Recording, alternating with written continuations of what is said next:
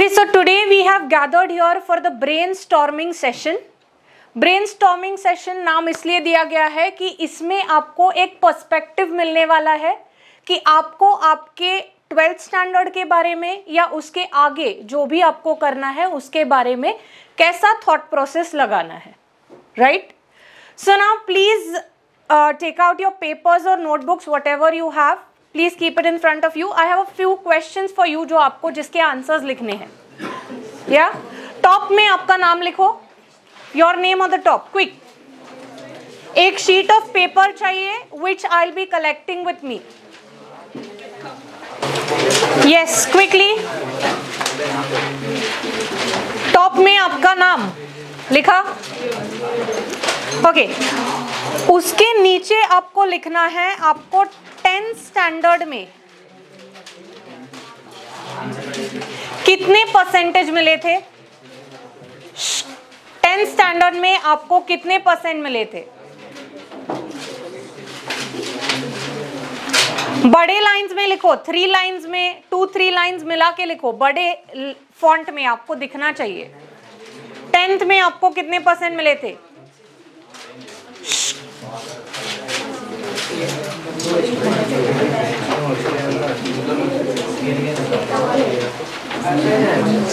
Next आपको eleventh standard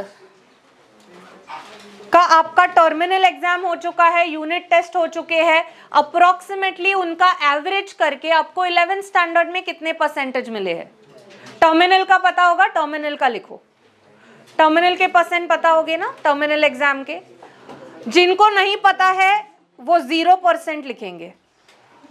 पता करना आपकी रिस्पॉन्सिबिलिटी है, जहाँ से। पढ़ रहे हो तो पता होना चाहिए, नहीं पढ़ रहे हो तो कोई बात नहीं ज़ीरो परसेंट मिले आपको। कोई भी टेस्ट हुई है, कोई भी यूनिट टेस्ट कोई भी टर्मिनल उसमें कितने परसेंट आए हैं? Right not a thing of discussing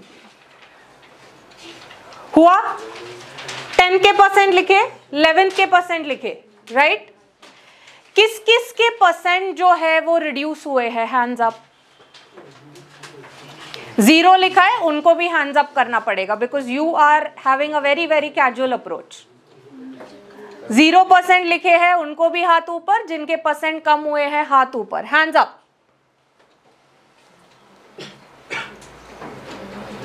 almost सबके किस किस को टेंथ स्टैंडर्ड में एट्टी परसेंट प्लस थे? अब कम हो चुके टेंथ स्टैंडर्ड और इलेवेंथ स्टैंडर्ड खुद के परसेंटेज देखो टू सेकेंड्स के लिए। हैव दे रिड्यूस्ड कुछ गलत है? कुछ गलती हो रही है कि सही से चल रहा है सब? आपको, आपने जब कॉमर्स लिया था नेक्स्ट क्वेश्चन क्या सोच के कॉमर्स लिया था? Why had you taken commerce एक ऑप्शन इजी है? या आपको लगा था कि इंटरेस्टिंग है, कुछ अलग पढ़ते हैं? दो ऑप्शंस में से एक. इजी है साइंस नहीं पढ़ना है साइंस डिफ़िकल्ट जाता है तो कॉमर्स लेते हैं. कॉमर्स इजी है. एक अप्रोच रहता है. दूसरा इंटरेस्टिंग है, पढ़ना है, कुछ अलग सीखने को मिलेगा। क्या पर्सपेक्टिव था कॉमर्स लेने के लिए?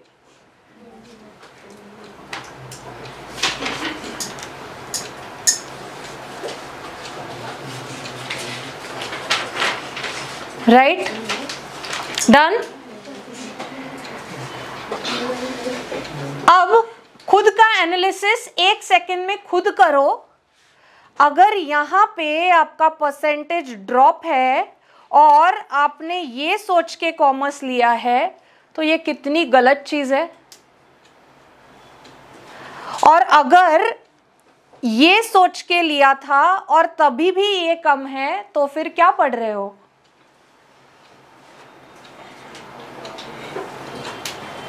चुकतंय का काहीतरी?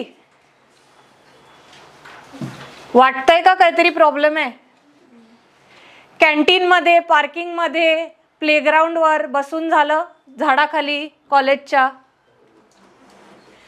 प्रॉब्लेम आहे ना? जैसे इलेवेंथ स्टैंडर्ड आपने खत्म कर दिया, ये चक्कर में वैसे ही आगे के चार पाँच साल ऐसे अगर टाइम पास करते करते खत्म कर दोगे तो पढ़ोगे कब? और पढ़ोगे क्या? अगर गलती हो रही है तो सुधारने का टाइम कब है? अब। आज हम अगर जनवरी के स्टार्ट में हैं तो अगले जनवरी के स्टार्ट में आपकी क्या चालू होगी? प्रिलिम एग्जामिनेशन तो हमारे पास कितना टाइम है? वन ईयर अगर वन ईयर में थोड़ा सा स्ट्रगल करके, थोड़ा सा पढ़ के अच्छे तरीके से आगे नहीं बढ़े तो क्या होगा? ये परसेंट जो कम हुए हैं, वो क्या हो जाएँगे? और कम। करना ऐसे लिखो, क्या है आपका ट्वेल्थ का टारगेट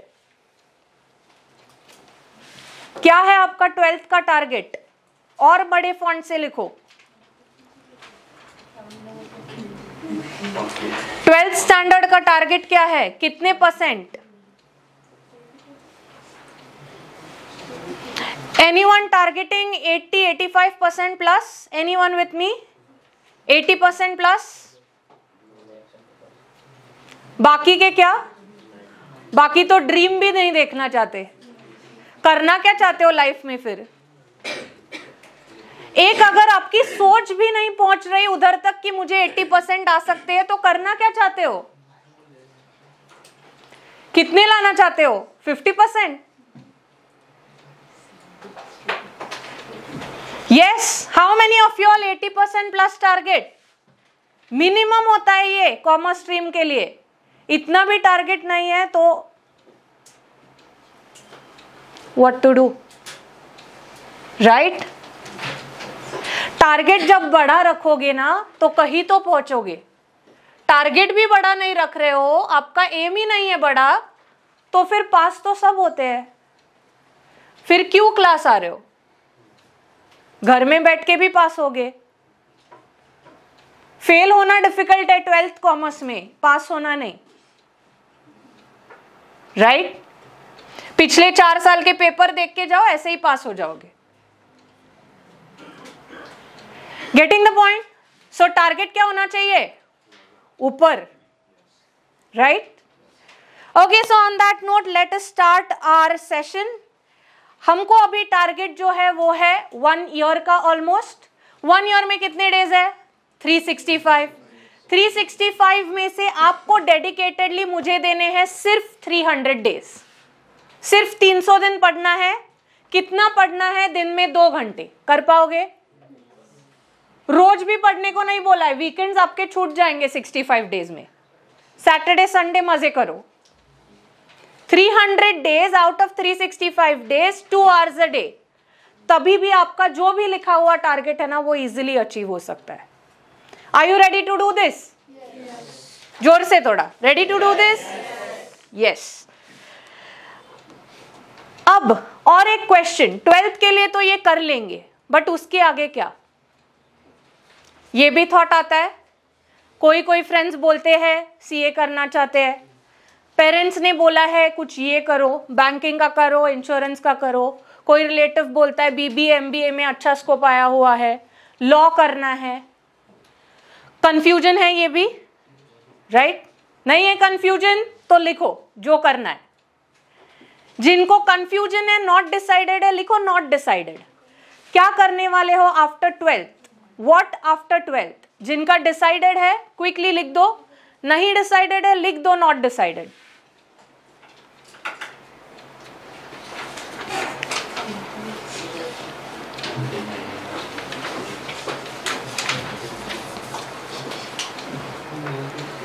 फिर से डिसाइडेड है तो ग्रेट है, नहीं डिसाइडेड है तो क्या है? थॉट प्रोसेस चालू करना पड़ेगा। क्यों चालू करना पड़ेगा? बहुत सारे एंट्रेंस एग्ज़ाम्स कब होंगे? ये दिसंबर एंड में। मतलब आप ट्वेल्थ में हो तभी। कोई होंगे तुरंत आपके बोर्ड एग्ज़ाम के बाद।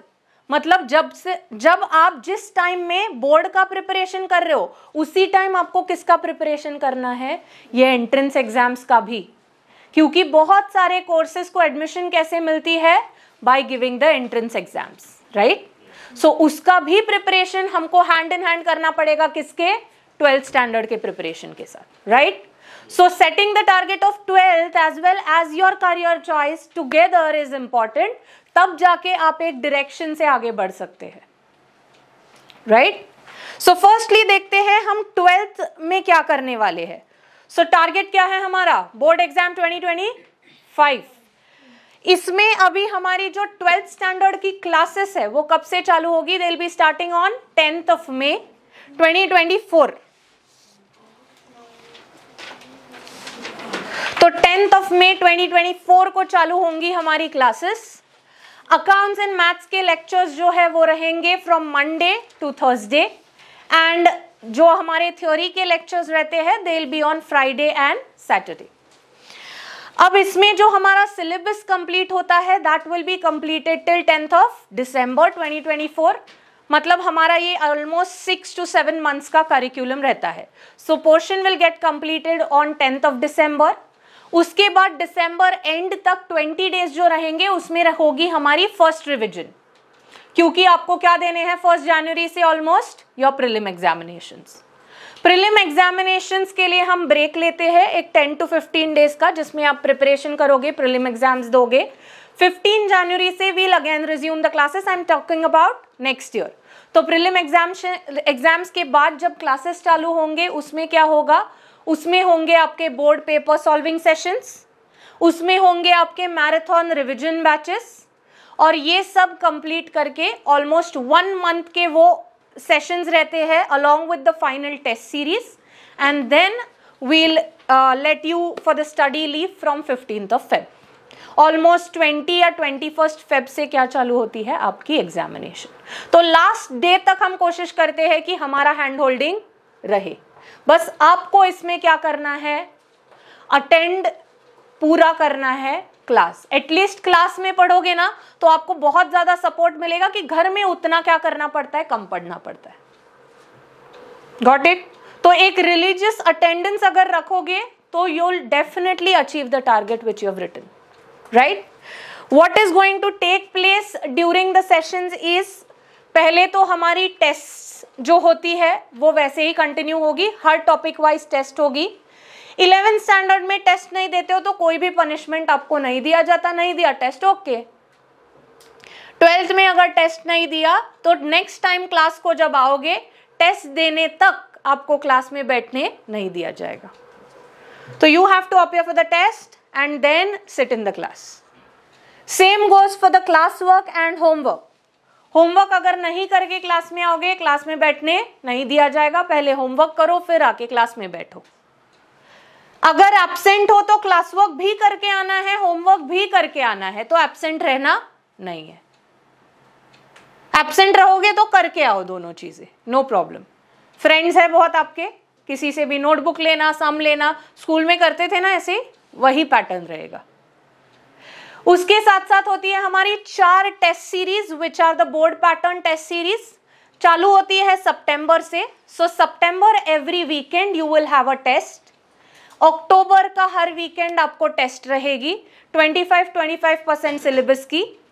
देन दिसंबर में आपको फुल पोर्शन आपकी पहली टेस्ट सीरीज़ रहेगी एंड जनवरी में रहेगी जनवरी एंड में आपकी final test series again full portion so दो टेस्ट होते हैं फुल पोर्शन के, दो टेस्ट होते हैं पार्ट सिलेबस के।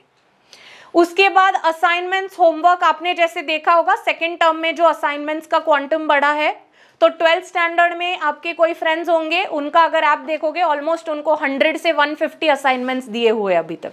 तो every day one some one answer is what you need to do मैंने आपको दो घंटा पढ़ने को बोला है। एक सम सॉल्व करने को कितना टाइम लगेगा मैक्सिमम ट्वेंटी मिनट्स 25 मिनट्स एक आंसर लिखने को कितना टाइम लगेगा? सेम 20 टू 25 मिनट्स तो वन आवर का हमारा होमवर्क असाइनमेंट हो गया। सिर्फ़ एक्स्ट्रा वन आवर पढ़ना है। That's more than enough trust me, commerce में आए हो तो इजी है। बट इजी कब है? जब कंसिस्टेंसी रखोगे। एक दिन एग्ज़ाम के दिन उठ के पढ़ने बैठोगे तो आप वो नहीं अचीव कर पाओगे, नहीं पढ़ पाओगे। बट रोज अगर पढ़ोगे ना धीरे धीरे तो ऑटोमेटिकली चीज़ें कवर होते जाएगी। बर्डन फ्री पढ़ना है ना तो ये पैटर्न से पढ़ना पड़ेगा। गॉट इट ओके अब जिनका target 85 percent plus 90 percent plus. ये है उनके लिए ये स्पेशल बैच बैच जो है वो लॉन्च हो रही है। So Learnmo super 50 batch newly being launch this year for students who are targeting bigger 85-90 percent plus का टारगेट और अकाउंट्स में 100 मार्क्स का टारगेट इसमें से किसी भी एक किसका है? Hands up so this is the batch for you batch में कुछ स्पेशल सिखाने नहीं जाने वाला। सिखाएँगे वही। बट आपको कितने कम टाइम में चीज़ें करनी है, कितनी ज़्यादा प्रैक्टिस करनी है, किस तरीके से पढ़ना है, ये टेक्निक्स डे वन से सिखाए जाएँगे। Got it so if you are targeting bigger this is the batch for you कहा होगी? यहाँ पे टिलक रोड पे I will be taking the batch 50 students only personalize attention to every one और सब रूल्स जो बताए गए पाँच मिनट पहले वो उसमें फॉलो करने पड़ेंगे. रेडी फॉर इट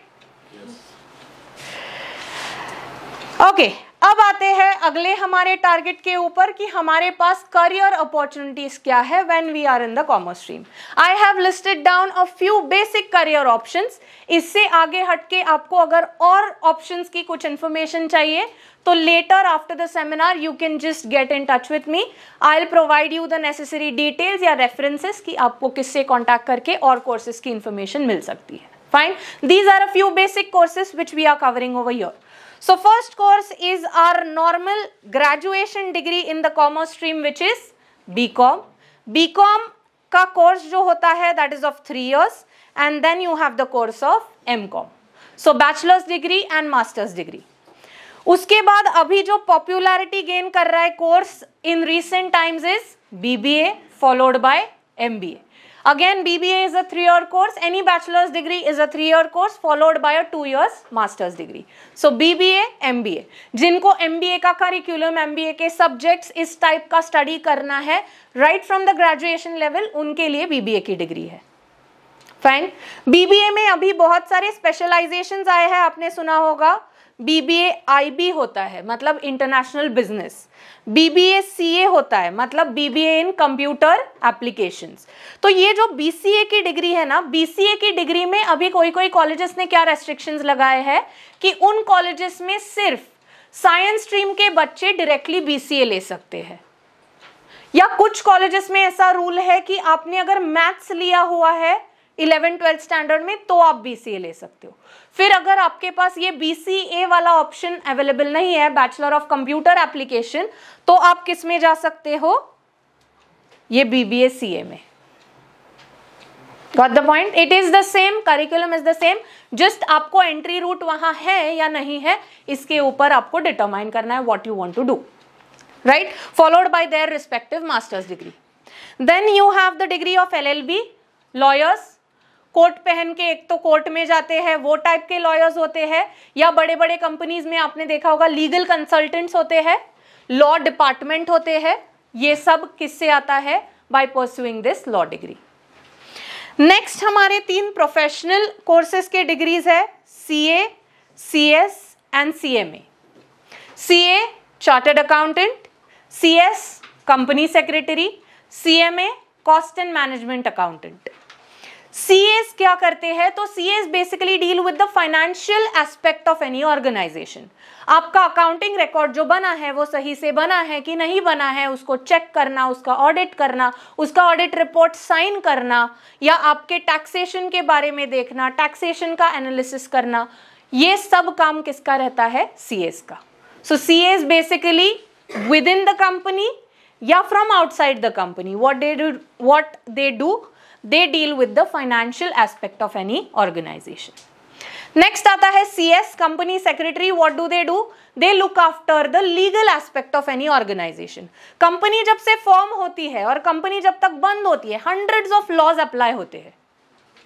कंपनी में एम्प्लॉयज़ रखते हैं, उनको सैलरी देना है बोनस देना है hundreds of laws are applicable तो ये सब लॉस प्रॉपरली फॉलो हो रहे हैं कि नहीं, ये कौन देखता है? सीएस अगर अंदर है तो। अगर कंपनी के बाहर से कंसल्टेंसी कर रहे हो तो क्या है? कंपनी वो फॉलो कर रही है कि नहीं, वो देख के क्या करना पड़ता है? कंपनी ऑडिट रिपोर्ट होता है, वो साइन करना पड़ता है।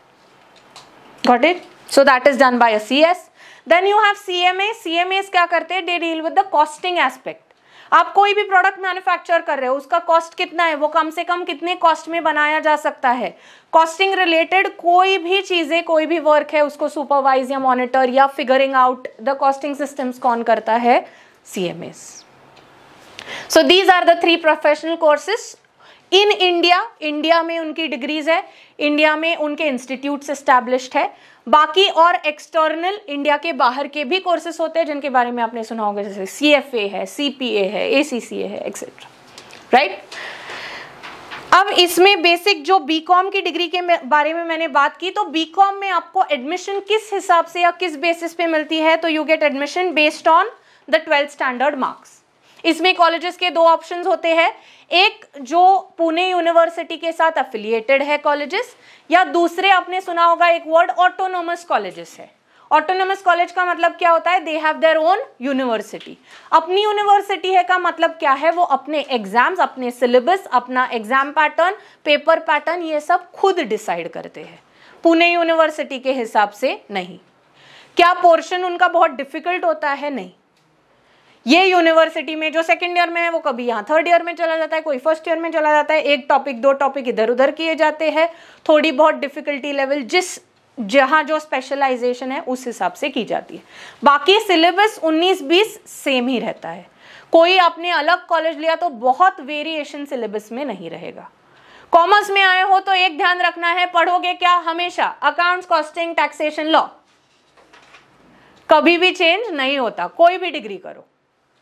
सीए करो बीकॉम करो बीबीए करो वॉट एवर यू डू ये सब्जेक्ट्स तो रहेंगे ही. क्लियर ओके उसके बाद आता है बीबीए बीबीए कहाँ से किया जा सकता है? तो बीबीए अगेन नॉर्मल कोई भी कॉलेजेस से किया जा सकता है बेस्ड इन पुणे एक्सेट्रा या फिर आजकल जो बहुत बच्चे ऑप्ट कर रहे हैं, वो एक इंटीग्रेटेड कोर्स पैटर्न निकला है कि you have five year MBA degree तो इंटीग्रेटेड पैटर्न में क्या होता है? BBA MBA together five year course दिया जाता है। पॉपुलरली कहाँ हो रहा है? आईआईएम इंदौर में, जिसके लिए आपको ये आईपी मैट देनी पड़ती है। बाकी बीबीए एमबीए कहाँ से कर सकते हो? सिम्बॉइसिस कॉलेज है एमआईटी है। बाकी अभी यहाँ के हर कॉलेज में बीएमसीसी गरवारे सब कॉलेजेस में चालू हो चुका है। बट इसकी भी क्या देनी पड़ती है आपको बीबीए की? सेपरेट एंट्रेंस एग्ज़ाम तो एंट्रेंस एग्ज़ाम दे के, वो क्लियर करके स्कोर करके आपको एंट्रेंस एग्ज़ाम uh, के बेसिस पे वो कॉलेज में एडमिशन uh, मिलेगी राइट नेक्स्ट आता है अगर एमबीए आपको करना है तो बीबीए के बाद एमबीए किया जा सकता है या नॉर्मल बी के बाद भी एमबीए किया जा सकता है? उसके लिए अगेन आगे क्या एग्ज़ाम्स रहेंगी? आई में जाना है तो कैट सिम्बॉइसिस वगैरह बाकी के कॉलेज में जाना है तो उस हिसाब से अलग अलग कॉलेज की अलग अलग एग्जामिनेशन रहती है। ड्यूरेशन जैसे मैंने आपको बताया थ्री इयर्स और टू इयर्स का कॉम्बिनेशन चलता है। उसके बाद चलता है एलएलबी का डिग्री एलएलबी के डिग्री में अगेन आपको यहाँ पे क्या करना है? अगर आपको ट्वेल्थ के बाद इमीडिएटली करना है तो फिर से क्या देनी पड़ेगी? लॉ कॉलेज की एंट्रेंस एग्ज़ाम अब इसमें अगर आपको नेशनल लेवल के लॉ कॉलेजेस चाहिए तो कौन सी एग्ज़ाम देनी पड़ती है? You have to give CLAT and important point ये, कब ली जाती है? दिसंबर मतलब आप जब ट्वेल्थ में रहोगे, उसके दिसंबर में। तो इसलिए आपको क्या करना है? उसका प्रिपरेशन तो अभी से चालू करना पड़ेगा। Right right? या फिर आपने ये नहीं दी तो दूसरा ऑप्शन क्या रहता है? यू कैन गिव लॉ की CET which is taking place after your board examination in the month of May तो उससे क्या मिलेंगे? आपको कॉलेजेस जो मिलेंगे, वो विद इन महाराष्ट्र सीईटी के बेसिस पे आपको कॉलेजेस लॉ के मिल सकते हैं। लॉ का कोर्स करने के दो ऑप्शंस रहते हैं। एक ट्वेल्थ के बाद करो फाइव ईयर कोर्स या एक ग्रेजुएशन के बाद करो थ्री ईयर का course but I will suggest आपको अगर फुल फ्लेजेड प्रॉपर लॉ का डिग्री करना है तो do it right after twelfth क्योंकि उससे आप आपकी इंटर्नशिप्स आर्टिकलशिप्स ये सब जल्दी चालू करोगे and you will be at a better off position at a very young age got it yes और क्या क्या करियर ऑप्शंस होते हैं? तो और ये ऑप्शंस है, कुछ डिग्रीज है। एक्चुअली जिसमें बहुत सारे कैलकुलेशन मैथ्स अच्छा होना पड़ता है, उस हिसाब से बनाई जाती है। फिर डिप्लोमा कोर्सेस है टैक्सेशन में है शेयर मार्केट के है स्टॉक मार्केट के है। आपको कोई भी फॉरेन लैंग्वेजेस पढ़नी है, उसमें भी आप स्पेशलाइजेशन कर सकते हो। बैंकिंग या इंश्योरेंस के एग्ज़ाम्स है, ये जनरली ग्रेजुएशन के बाद आप परसू कर सकते हैं। सिमिलरली आपको ये कुछ चीज़ें करनी है interior designing fashion designing hotel management तो again you can get in touch with us we have multiple students who have pursued the streams तो आपको उनसे फ़र्स्ट हैंड एक्सपीरियंस या गाइडेंस जो है वो मिल सकता है।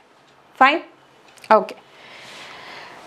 अब आते हैं एक ब्रीफ पे about company secretary company secretary क्या है? जो सी एस का कोर्स हमने डिस्कस किया। C S is the person who deals with the legal aspect so legalities के बारे में मतलब बहुत सारा लॉ पढ़ना पड़ता है सी एस के कोर्स में।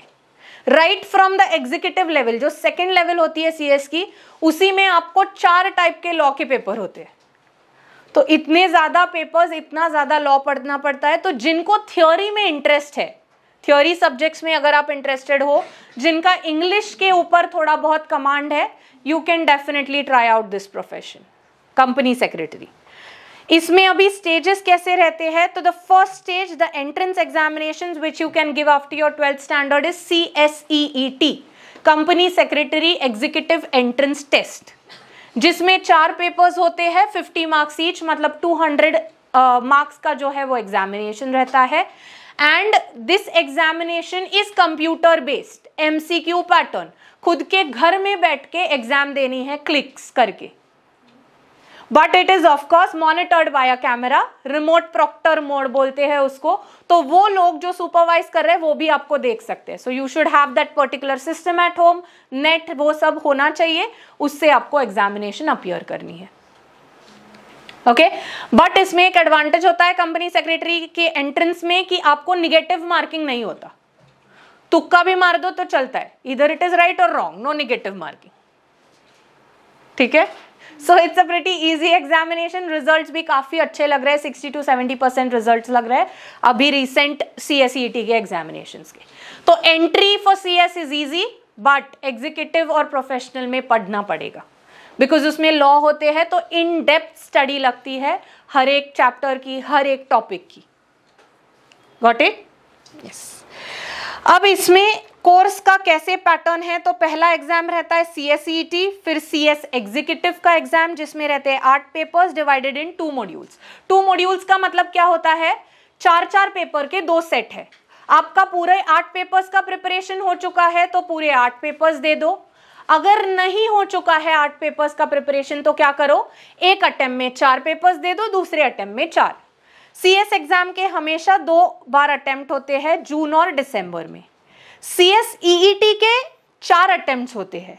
ये जून, दिसंबर वाले तो है ही बट एक्स्ट्रा एडिशनल अटेम्प्ट भी होते हैं।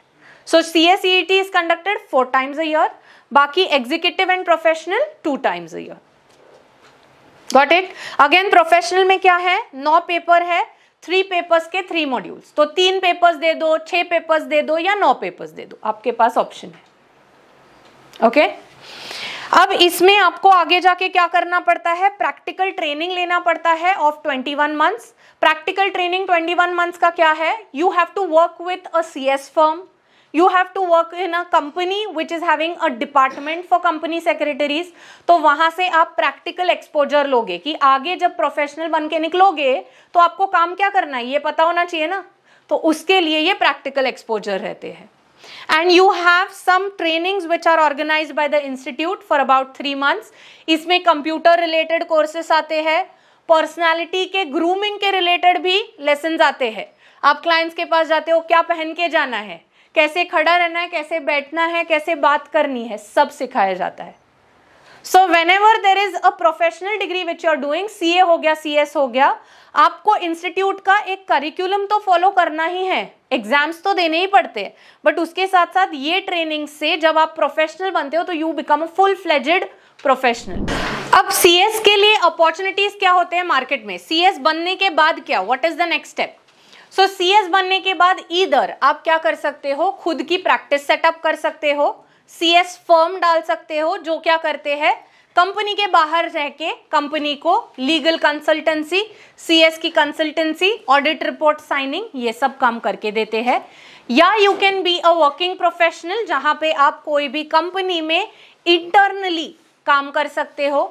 कंपनीज़ एक्ट चेंज होने के बाद सीएस की रिक्वायरमेंट्स जो है, वो कंपनी में क्या हो चुकी है? देर आर सर्टेन क्राइटेरियाज कि ये टर्नओवर अगर कोई कंपनी क्रॉस करती है तो उनको कंपल्सरीली क्या रखना पड़ेगा? सीएस रखना पड़ेगा। तो इसलिए कंपनी में इंटरनली भी सीएस रखने की मैंडेटरी रिक्वायरमेंट है।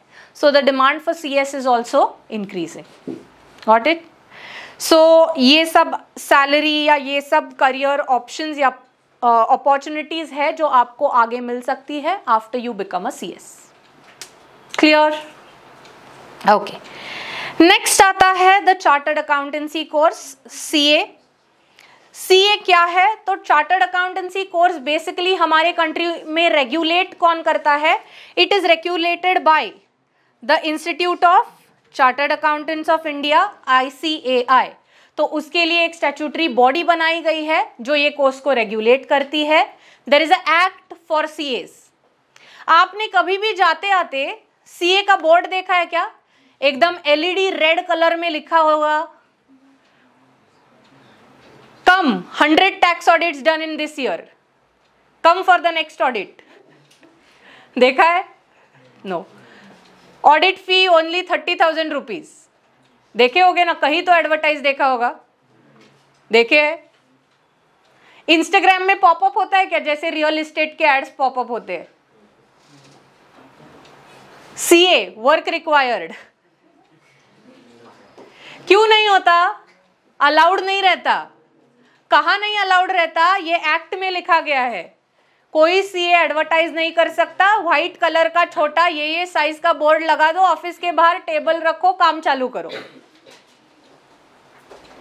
वॉट इट प्रोफेशनल मिसकंडक्ट बोला जाता है अगर ऐसे टाइप के एडवर्टाइज करो। Why why not you can advertise because यहाँ पे ये प्रोफेशनल डिग्री है। Prove your merit get your clients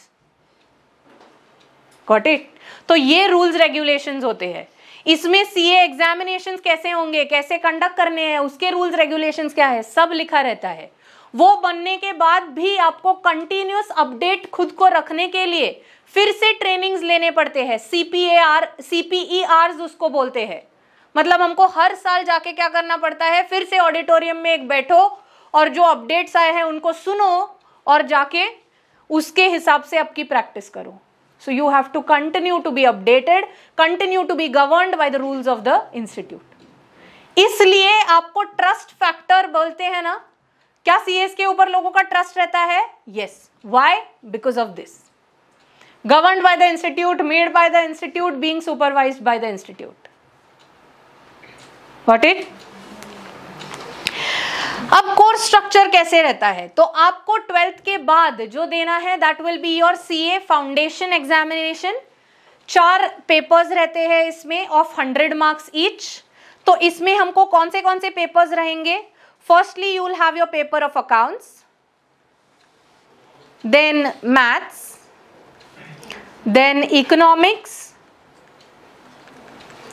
and law सुना होगा ना सीए कोर्स में बहुत चेंजेस आए। थोड़े से चेंजेस आए, तुरंत समझा देती हूँ। क्या चेंजेस आए? पहले ये इकोनॉमिक्स के साथ हमारे पास और एक पेपर रहता था विच इज़ बी सी के बिज़नेस एंड कमर्शियल नॉलेज अब ये पेपर हट चुका है। अभी सिर्फ़ क्या है? इकोनॉमिक्स कौन सा इकोनॉमिक्स यही जो आप इलेवन ट्वेल्थ में पढ़ते हो माइक्रो मैक्रो वही। लॉ में। लॉ के साथ साथ और एक पेपर रहता था, जिसको बोला जाता था BCR business communication and reporting letter writing ऐसे writing note making minutes of the meeting बनाने हैं ये सब बट ये भी अभी नहीं है अभी फुल फ्लेजेड प्रॉपर लॉ का आपका पेपर रहेगा जिसमें सब एक्ट्स जो है लॉज जो है वो कवर होंगे इसमें से अकाउंट्स का पेपर जो है वो और लॉ का पेपर जो है वो रहते हैं subjective papers and maths and economics के रहते हैं एमसीक्यू पेपर गोले लगाने। ठीक है? तो मैथ्स से जिनको डर लगता है, मुझे मैथ्स आता नहीं, कोई बात नहीं है। यहाँ चार ऑप्शन मिलेंगे। ऑप्शन से क्वेश्चन क्वेश्चन से आंसर पहुँच जाओगे। ठीक है? तो इसलिए मैथ्स का फियर लेके मुझे मैथ्स नहीं आता तो मुझे सीए नहीं करना। ऐसे भागने की ज़रूरत नहीं है।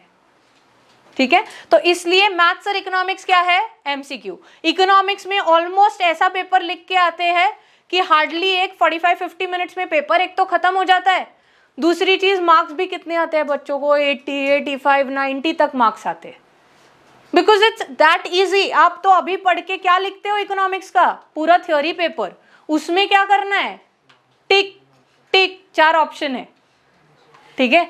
तो दो एक दो पेपर अच्छे बना लिए ना अपने आपके फेवरेट सब्जेक्ट्स तो passing doesn't remain a problem any more got it उसके बाद आता है नेक्स्ट लेवल हमारा सीए इंटरमीडिएट अब सुनो ध्यान से चेंजेस क्या हुए? पहले यहाँ सीए इंटरमीडिएट में रहते थे आठ पेपर्स अभी कितने हैं? छह papers so three plus three two groups similarly final में भी रहते थे यहाँ पे आठ पेपर्स अभी कितने हैं?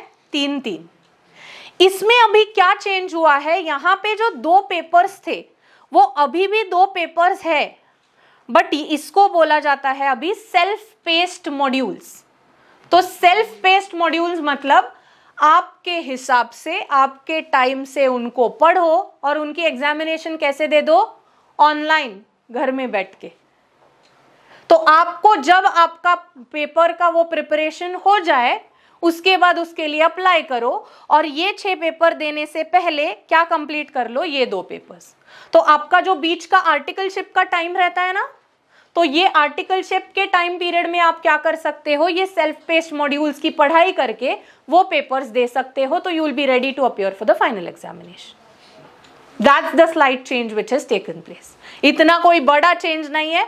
आठ पेपर्स जो थे, उन्हीं में से छह अभी जाके लिखने हैं। दो कहाँ से लिखने हैं? ऑनलाइन मोड से, घर से। Got it passing criteria CA का क्या है? फिर से वही 50 percent aggregate 40 marks each subject and दोनों होना चाहिए। तो फाउंडेशन पास करने के लिए क्या है? 400 मार्क्स का पेपर कितने लगेंगे? 200 तो हर पेपर में कितने लगेंगे? 40 प्लस तो हम टारगेट हमेशा कितना रखते हैं? डिसेंट एक 60 का सोर हमको सब पेपर्स में आना चाहिए। तो 60 मार्क्स आ गए तो क्या होगा?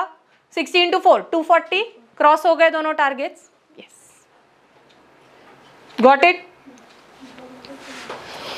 CA course की टाइमलाइन क्या होती है? तो आप आपका ट्वेल्थ स्टैंडर्ड कब दोगे? फेब्रुवरी 2025 उसके बाद मई या जून 2025 में क्या आएगा आपका? सीए फाउंडेशन का एग्जामिनेशन उसके बाद एट मंथ्स के बाद आप दे सकते हो कौन सा आपका सीए इंटरमीडिएट का एग्जामिनेशन अगर आपने पूरे छह पेपर्स मान के चलते यहाँ पे दिए और पास हो गए तो आप तुरंत आपकी क्या कर सकते हो चालू? आर्टिकलशिप इन से अगस्त बिकॉज़ रिज़ल्ट आने में एक डेढ़ महीना लग जाता है। आर्टिकलशिप अभी जो है वो बन चुकी है दो साल की। तो दो साल का आपका प्रैक्टिकल ट्रेनिंग है आर्टिकलशिप है। You work with another C और you work with big firms like audit firms होते हैं। बिग फोर सुना होगा आपने? अर्नस एंड यंग है डेलॉइट है पीडब्ल्यूसी है केपीएमजी है। तो ये टॉप फर्म्स है, उनके साथ भी आप आर्टिकलशिप कर सकते हैं। So that's how you work उसके बाद ये होने के बाद आपको सिक्स मंथ्स मिलेंगे for your study preparation for your final examination and then in May 2029 you can go for your C A final attempt तो आप अगर देखोगे, मैंने आपको अभी अभी बोला, अभी से लेके आपको कितना पढ़ना है? फाइव ईयर्स अभी पाँच साल स्ट्रगल करोगे तो उसके आगे क्या है? You can dream of a lavish life but अभी मज़े करोगे तो आगे क्या करते रहना पड़ेगा? Job search roaming here and there what to do कौन सा कोर्स करे? आज नहीं सोचोगे तो पाँच साल बाद तो सोचना ही पड़ेगा, क्योंकि पैसे चाहिए ना। आप जब तक आओगे उस स्टेज में जब आपको अर्न करना है, क्या लगता है आपको? कितने पैसे मिलने चाहिए मंथ के? To live a life which your parents are giving you right now one lakh plus आ रहा है ना कहीं कहीं से। एक से दो लाख पर मंथ लगेंगे। तब जाके इतनी लग्जरीज अफोर्ड कर पाओगे। खुश रखा है ना पेरेंट्स ने अभी तक। तो खुशी रखनी है आगे बढ़ा के कि नहीं? Will you be able to live in lower standard life then what you have today no जैसे कपड़े पहनते हो शूज़ पहनते हो बैग कैरी करते हो, इससे कम झेल पाओगे? नहीं? तो खुद के लिए बनाना पड़ेगा उतना। तब जाके क्या होगी? सस्टेनेबिलिटी प्रॉपर हो जाएगी। You are not doing this for anyone else you are doing it for yourself because you need it today you are use to a luxurious life you need to maintain it further AC लगा रहता है room में तो अच्छा लगता है ना? तो वो एसी अफोर्ड भी तो होना चाहिए। Getting it so you need to dream high so you need to dream big उसके बाद ये बेसिक रजिस्ट्रेशन के डिटेल्स है। आप अभी भी रजिस्ट्रेशन कर सकते हैं। क्लास जैसे ही चालू होगा, उसके बारे में आपको ब्रीफ जो है वो दिया जाएगा कि कब कब आपको रजिस्ट्रेशन प्रोसेसेस करने हैं। Once you register with the institute you become a student of the institute उनसे आपको स्टडी मटीरियल ये सब आ जाता है। उनके प्रोग्राम्स वगैरह अटेंड करने के अपॉर्चुनिटीज़ आपको मिलते हैं। So accordingly for that they you charge you the registration fees वो रजिस्ट्रेशन करके फ़ीस पे करके you can get associated with the I C A I right okay अब इसके आगे सी ए कोर्स के बारे में कुछ डिटेल्स देंगे हमको sudden sir so let's continue start करते हैं एक स्टोरी से okay let's begin with the one story per month how much you want to earn आपको ना इंगेजिंग बनाना पड़ेगा सेशन को। अभी यहाँ से इंगेजिंग चलेगा। अब आपको जवाब देना है। आप कितना अर्न करना चाहते हो per month down the line five years थोड़ा सा आप अंदाज़ा लगा लो कितनी महँगाई चलेगी। अभी भी करंट सिचुएशन में वन लाख पर मंथ का डिमांड चल रहा है मिनिमम आज से पाँच से सात साल आपको लगने वाले मार्केट में उतरने के लिए। How much you want to earn anyone per month my god इतना? अभी भी इसमें भी डर लग रहा है। हाँ बोलो। बहुत है तब भी। अच्छा टारगेट है। Two lakhs per month three lakh four lakh five lakh three lakh two lakh one lakh सब इससे कम तो नहीं है। पंद्रह हज़ार, बीस हज़ार कोई है क्या? ओ ओ ओ, ठीक है ठीक है ठीक है। सबको कमाना इतना है। ओके लेट्स सी उसके लिए अपन कर क्या रहे हैं, देखते हैं आगे। स्टोरी में आगे बढ़ते हैं। आप सभी लोग एक बहुत बड़े बिजनेसमैन हो। कौन हो? बहुत बड़े बिजनेसमैन हो। और डेफिनेटली आप कौन से फ़ील्ड में हो, बताओ फॉर एग्ज़ाम्पल कॉमर्स फ़ील्ड में हो। तो कॉमर्स के फ़ील्ड के बच्चे आगे जाके पढ़ के और किस फ़ील्ड में जाएँगे? मेनली फाइनेंस अकाउंट्स या डिपार्टमेंट में जाओगे? कि आप मैकेनिक इंजीनियर कुछ और बनने वाले हो? फ़ैन लगाओगे टीवी लगाओगे? नहीं ना? ओके सब आप लोग बिजनेसमैन हो, बहुत बड़े बिजनेसमैन हो। कांच की बिल्डिंग देखते हो ना, देख के एडमायर करते हो। साला इसके अंदर चलता क्या है? इतने लोग जाते हैं अंदर। क्या चल रहा है राइट सोचते हो कि नहीं सोचते हो? चलता है ना सबके दिमाग में? बालेवाड़ी हाई स्ट्रीट में जाके देखते हो यार, ये बिल्डिंग अंदर क्या है? अच्छा इतनी बड़ी बिज़नेस है, आप लोग का भी इतना बड़ा बिज़नेस है। अब बताओ, आपको फाइनेंस उसके यहाँ भी फाइनेंस एक one of the most important sector होगा। उसके बिना तो कोई बिज़नेस सस्टेन नहीं कर सकता। अंबानी ने कुछ भी किया हो, लेकिन उसको फाइनेंस का पूरा नॉलेज लेना ही पड़ेगा। कितना भी बड़ा कोई आईटी इंजीनियर बन जाए, लेकिन उसको फाइनेंस का detail at the end of the day लेना ज़रूरी है। चलो, आप सब भी को इंसिडेंटली आप लोग कॉमर्स से हो फाइनेंस का इंफॉर्मेशन आप बहुत बड़े बिजनेसमैन हो, इसी तरह की कांच की बिल्डिंग बताओ, आप अपने फाइनेंस डिपार्टमेंट में किसको अपॉइंट करोगे फाइनेंशियल देखने के लिए? नहीं, मैं नहीं बोल रहा कोई। मैंने बोला क्या आपको सीए बोलना है। बोलो ना, और भी कुछ तो है। एमबीए फाइनेंस रखवा लेना। एमबीए फाइनेंस भी तो है। सीए को क्यों रख रहे हो? खुद को आपको भरोसा नहीं है सीए के एमबीए फाइनेंस के ऊपर। अच्छा बीकॉम बीबीए वालों को तो छोड़ ही दिया। उनको क्यों नहीं रख रहे हो? उन्होंने भी फाइनेंस पढ़ा है। मतलब बहुत इंपॉर्टेंट लाइन है सुनना। आप एक ऐसा कोर्स करके मार्केट में जाना चाहते हो B com B B M B A normal, ऐसा कोर्स, एक ऐसा कोर्स, छोटा कोर्स आप करके मार्केट में जाना चाहते हो कि आप उनकी जगह होते, आप खुद उनको ना रखो जॉब में और आप चाहते हो कि ऐसा कोर्स करके आप मार्केट में जाओ और आपको क्या मिलनी चाहिए? जॉब भी मिलनी चाहिए और जॉब के साथ क्या मिलना चाहिए आपको? पैसे भी मिलने चाहिए। और आज खुद आप जानते हो कि मैं उस जगह में अपॉइंट किसी को करता रहता तो मैं खुद बीकॉम बीबीए वाले को क्या नहीं देता? जॉब नहीं देता। और फिर मोदी गवर्नमेंट या उस टाइम की जो राहुल गांधी जी या जो भी गवर्नमेंट रहेगी बाय मिस्टेक आप क्या बोलोगे? क्या नहीं है उनके पास? जॉब अपॉर्चुनिटी नहीं है। एजुकेशन सिस्टम में फ्लॉ है। आप लोग कौन से बोर्ड में हो? स्टेट बोर्ड में आ गए। था ना अच्छा एजुकेशन सिस्टम आईसीएसई बोर्ड था सीबीएसई बोर्ड था, क्यों छोड़ के आ गए स्टेट बोर्ड में?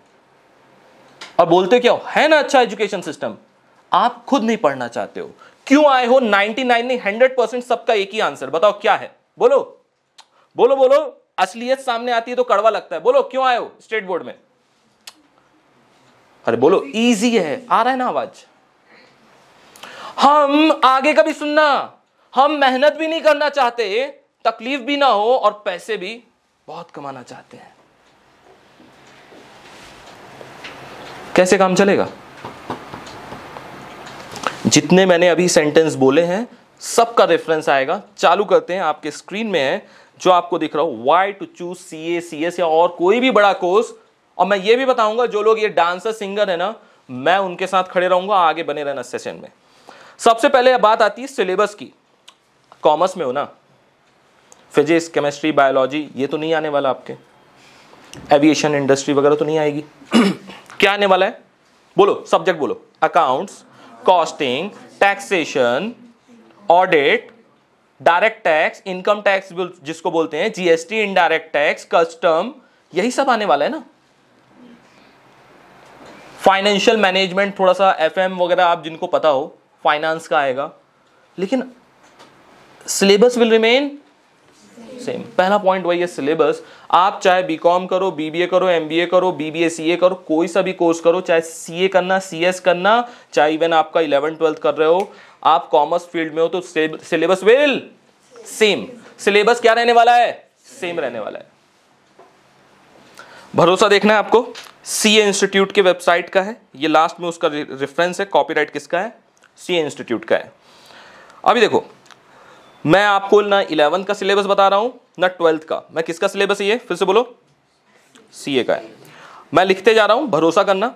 सबसे पहला नाम तो उसने पेपर वन अकाउंटिंग कर दिया। इसके पहले नाम क्या हुआ करता था? Principle and practice of accounting हुआ करता था। लेकिन आपके ट्वेल्थ एंड इलेवंथ की बुक का नाम क्या है? बुक कीपिंग एंड अकाउंटेंसी है सीबीएसई में जाओगे, सब जगह अलग है। आप नॉर्मली बोल देते कंफर्ट कंफर्ट क्या बोल देते हो? अकाउंट्स देखते हैं अंदर चैप्टर का नाम भी देखते हैं थियोरटिकल फ्रेमवर्क ये नाम नहीं है आपका। सबसे पहले देखो scope of accounting accounting concept revenue expenditure capital expenditure ये कहाँ पढ़ा आपने? कहाँ पढ़ा आपने?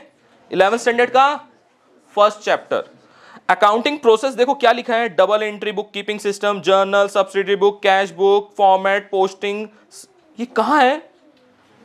जर्नल लेजर ट्रायल बैलेंस उसके बाद trial balance rectification of errors बोलो कहाँ है? Eleventh.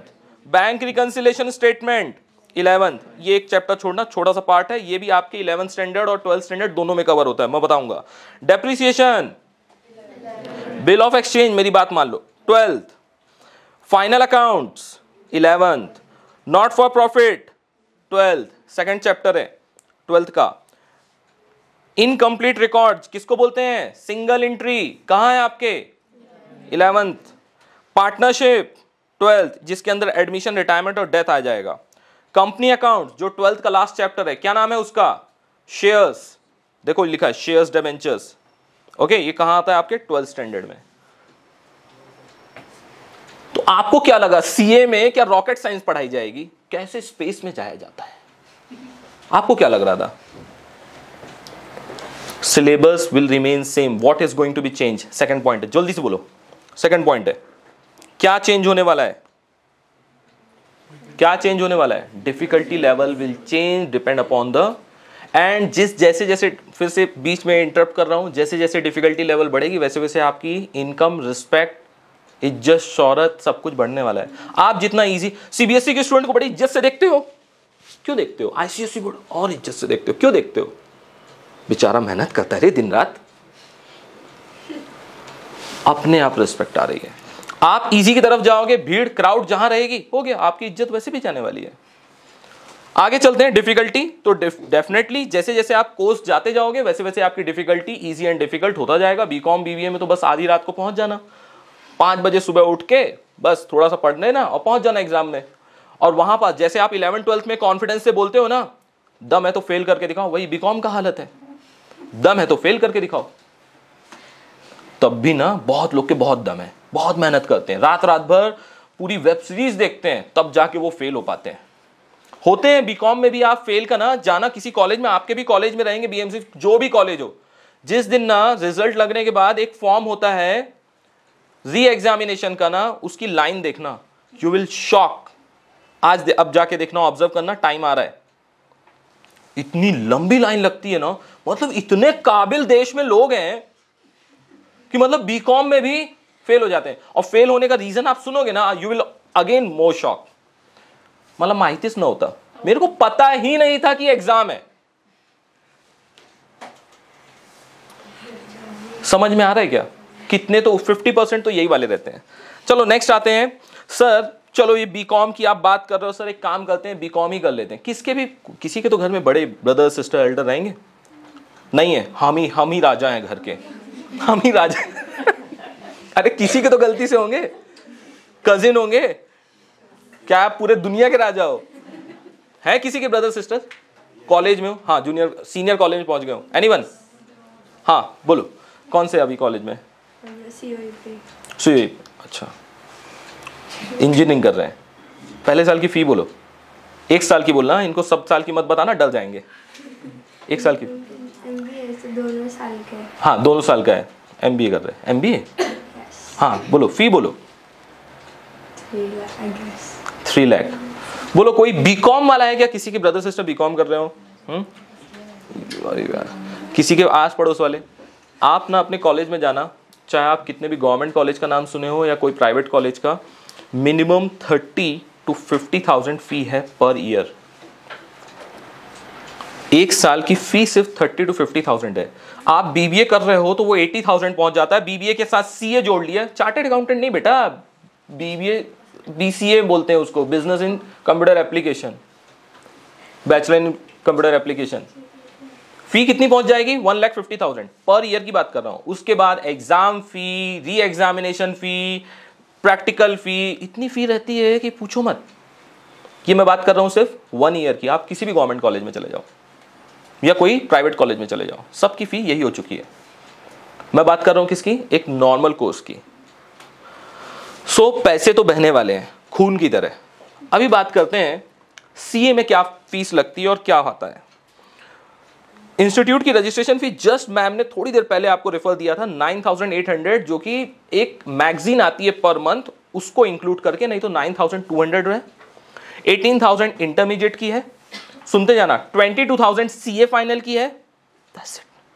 और ये जो 85000 सर इसका टोटल तो 85000 होता नहीं है। इसके बाद आईटी ट्रेनिंग जीएमसीएस आपको पर्सनल सॉफ्ट स्किल सब सिखाया जाता है इंस्टीट्यूट की तरफ़ से।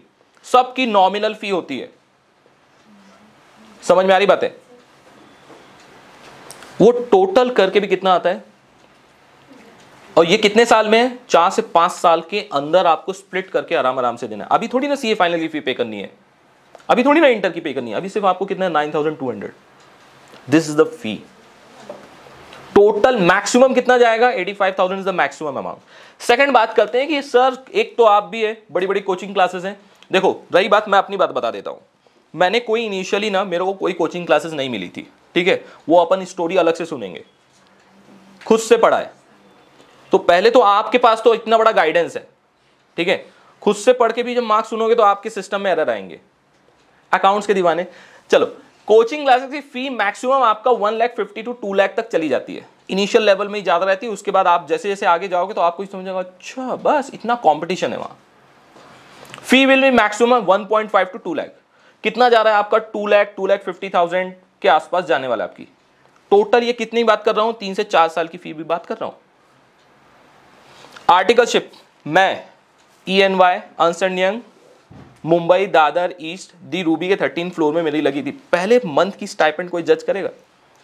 जिनको पता है वो नहीं। Yes ten years back fifteen thousand first month का स्टाइपेंड था नेक्स्ट ईयर होने वाला था ट्वेंटी थाउज़ेंड उसके बाद था ट्वेंटी फाइव थाउज़ेंड एंड आपको एज उस टाइम जज कर पाओगे क्या? मैं सिक्सटीन प्लस था उस टाइम बस। हाँ अपना एजुकेशन सिस्टम उसके बारे में हिस्ट्री है, बहुत जल्दी हो रहा था। ठीक है? सत्रह साल से पहले अठारह अठारह दूर की बात है, उसके पहले मैं आर्टिकलशिप में पहुँच चुका था।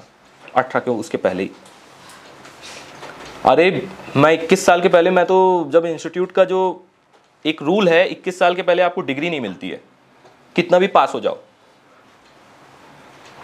मेरी, मैंने जब एग्ज़ाम दिया तो मैं 20 साल का था। सीए फाइनल का जब मैंने एग्ज़ाम दिया था, तब मैं कितने साल का था? 20 इयर्स का था। सो so, मैं आपको ये बता रहा हूँ पढ़ने वाला अपने अपने टाइप का रहता है अपने अपने तरीके से रहते हैं। मेन इंपॉर्टेंट यहाँ भटको अभी नहीं। ये मैम के कहने पे मैंने ये minimum six thousand rupees per month रखा है।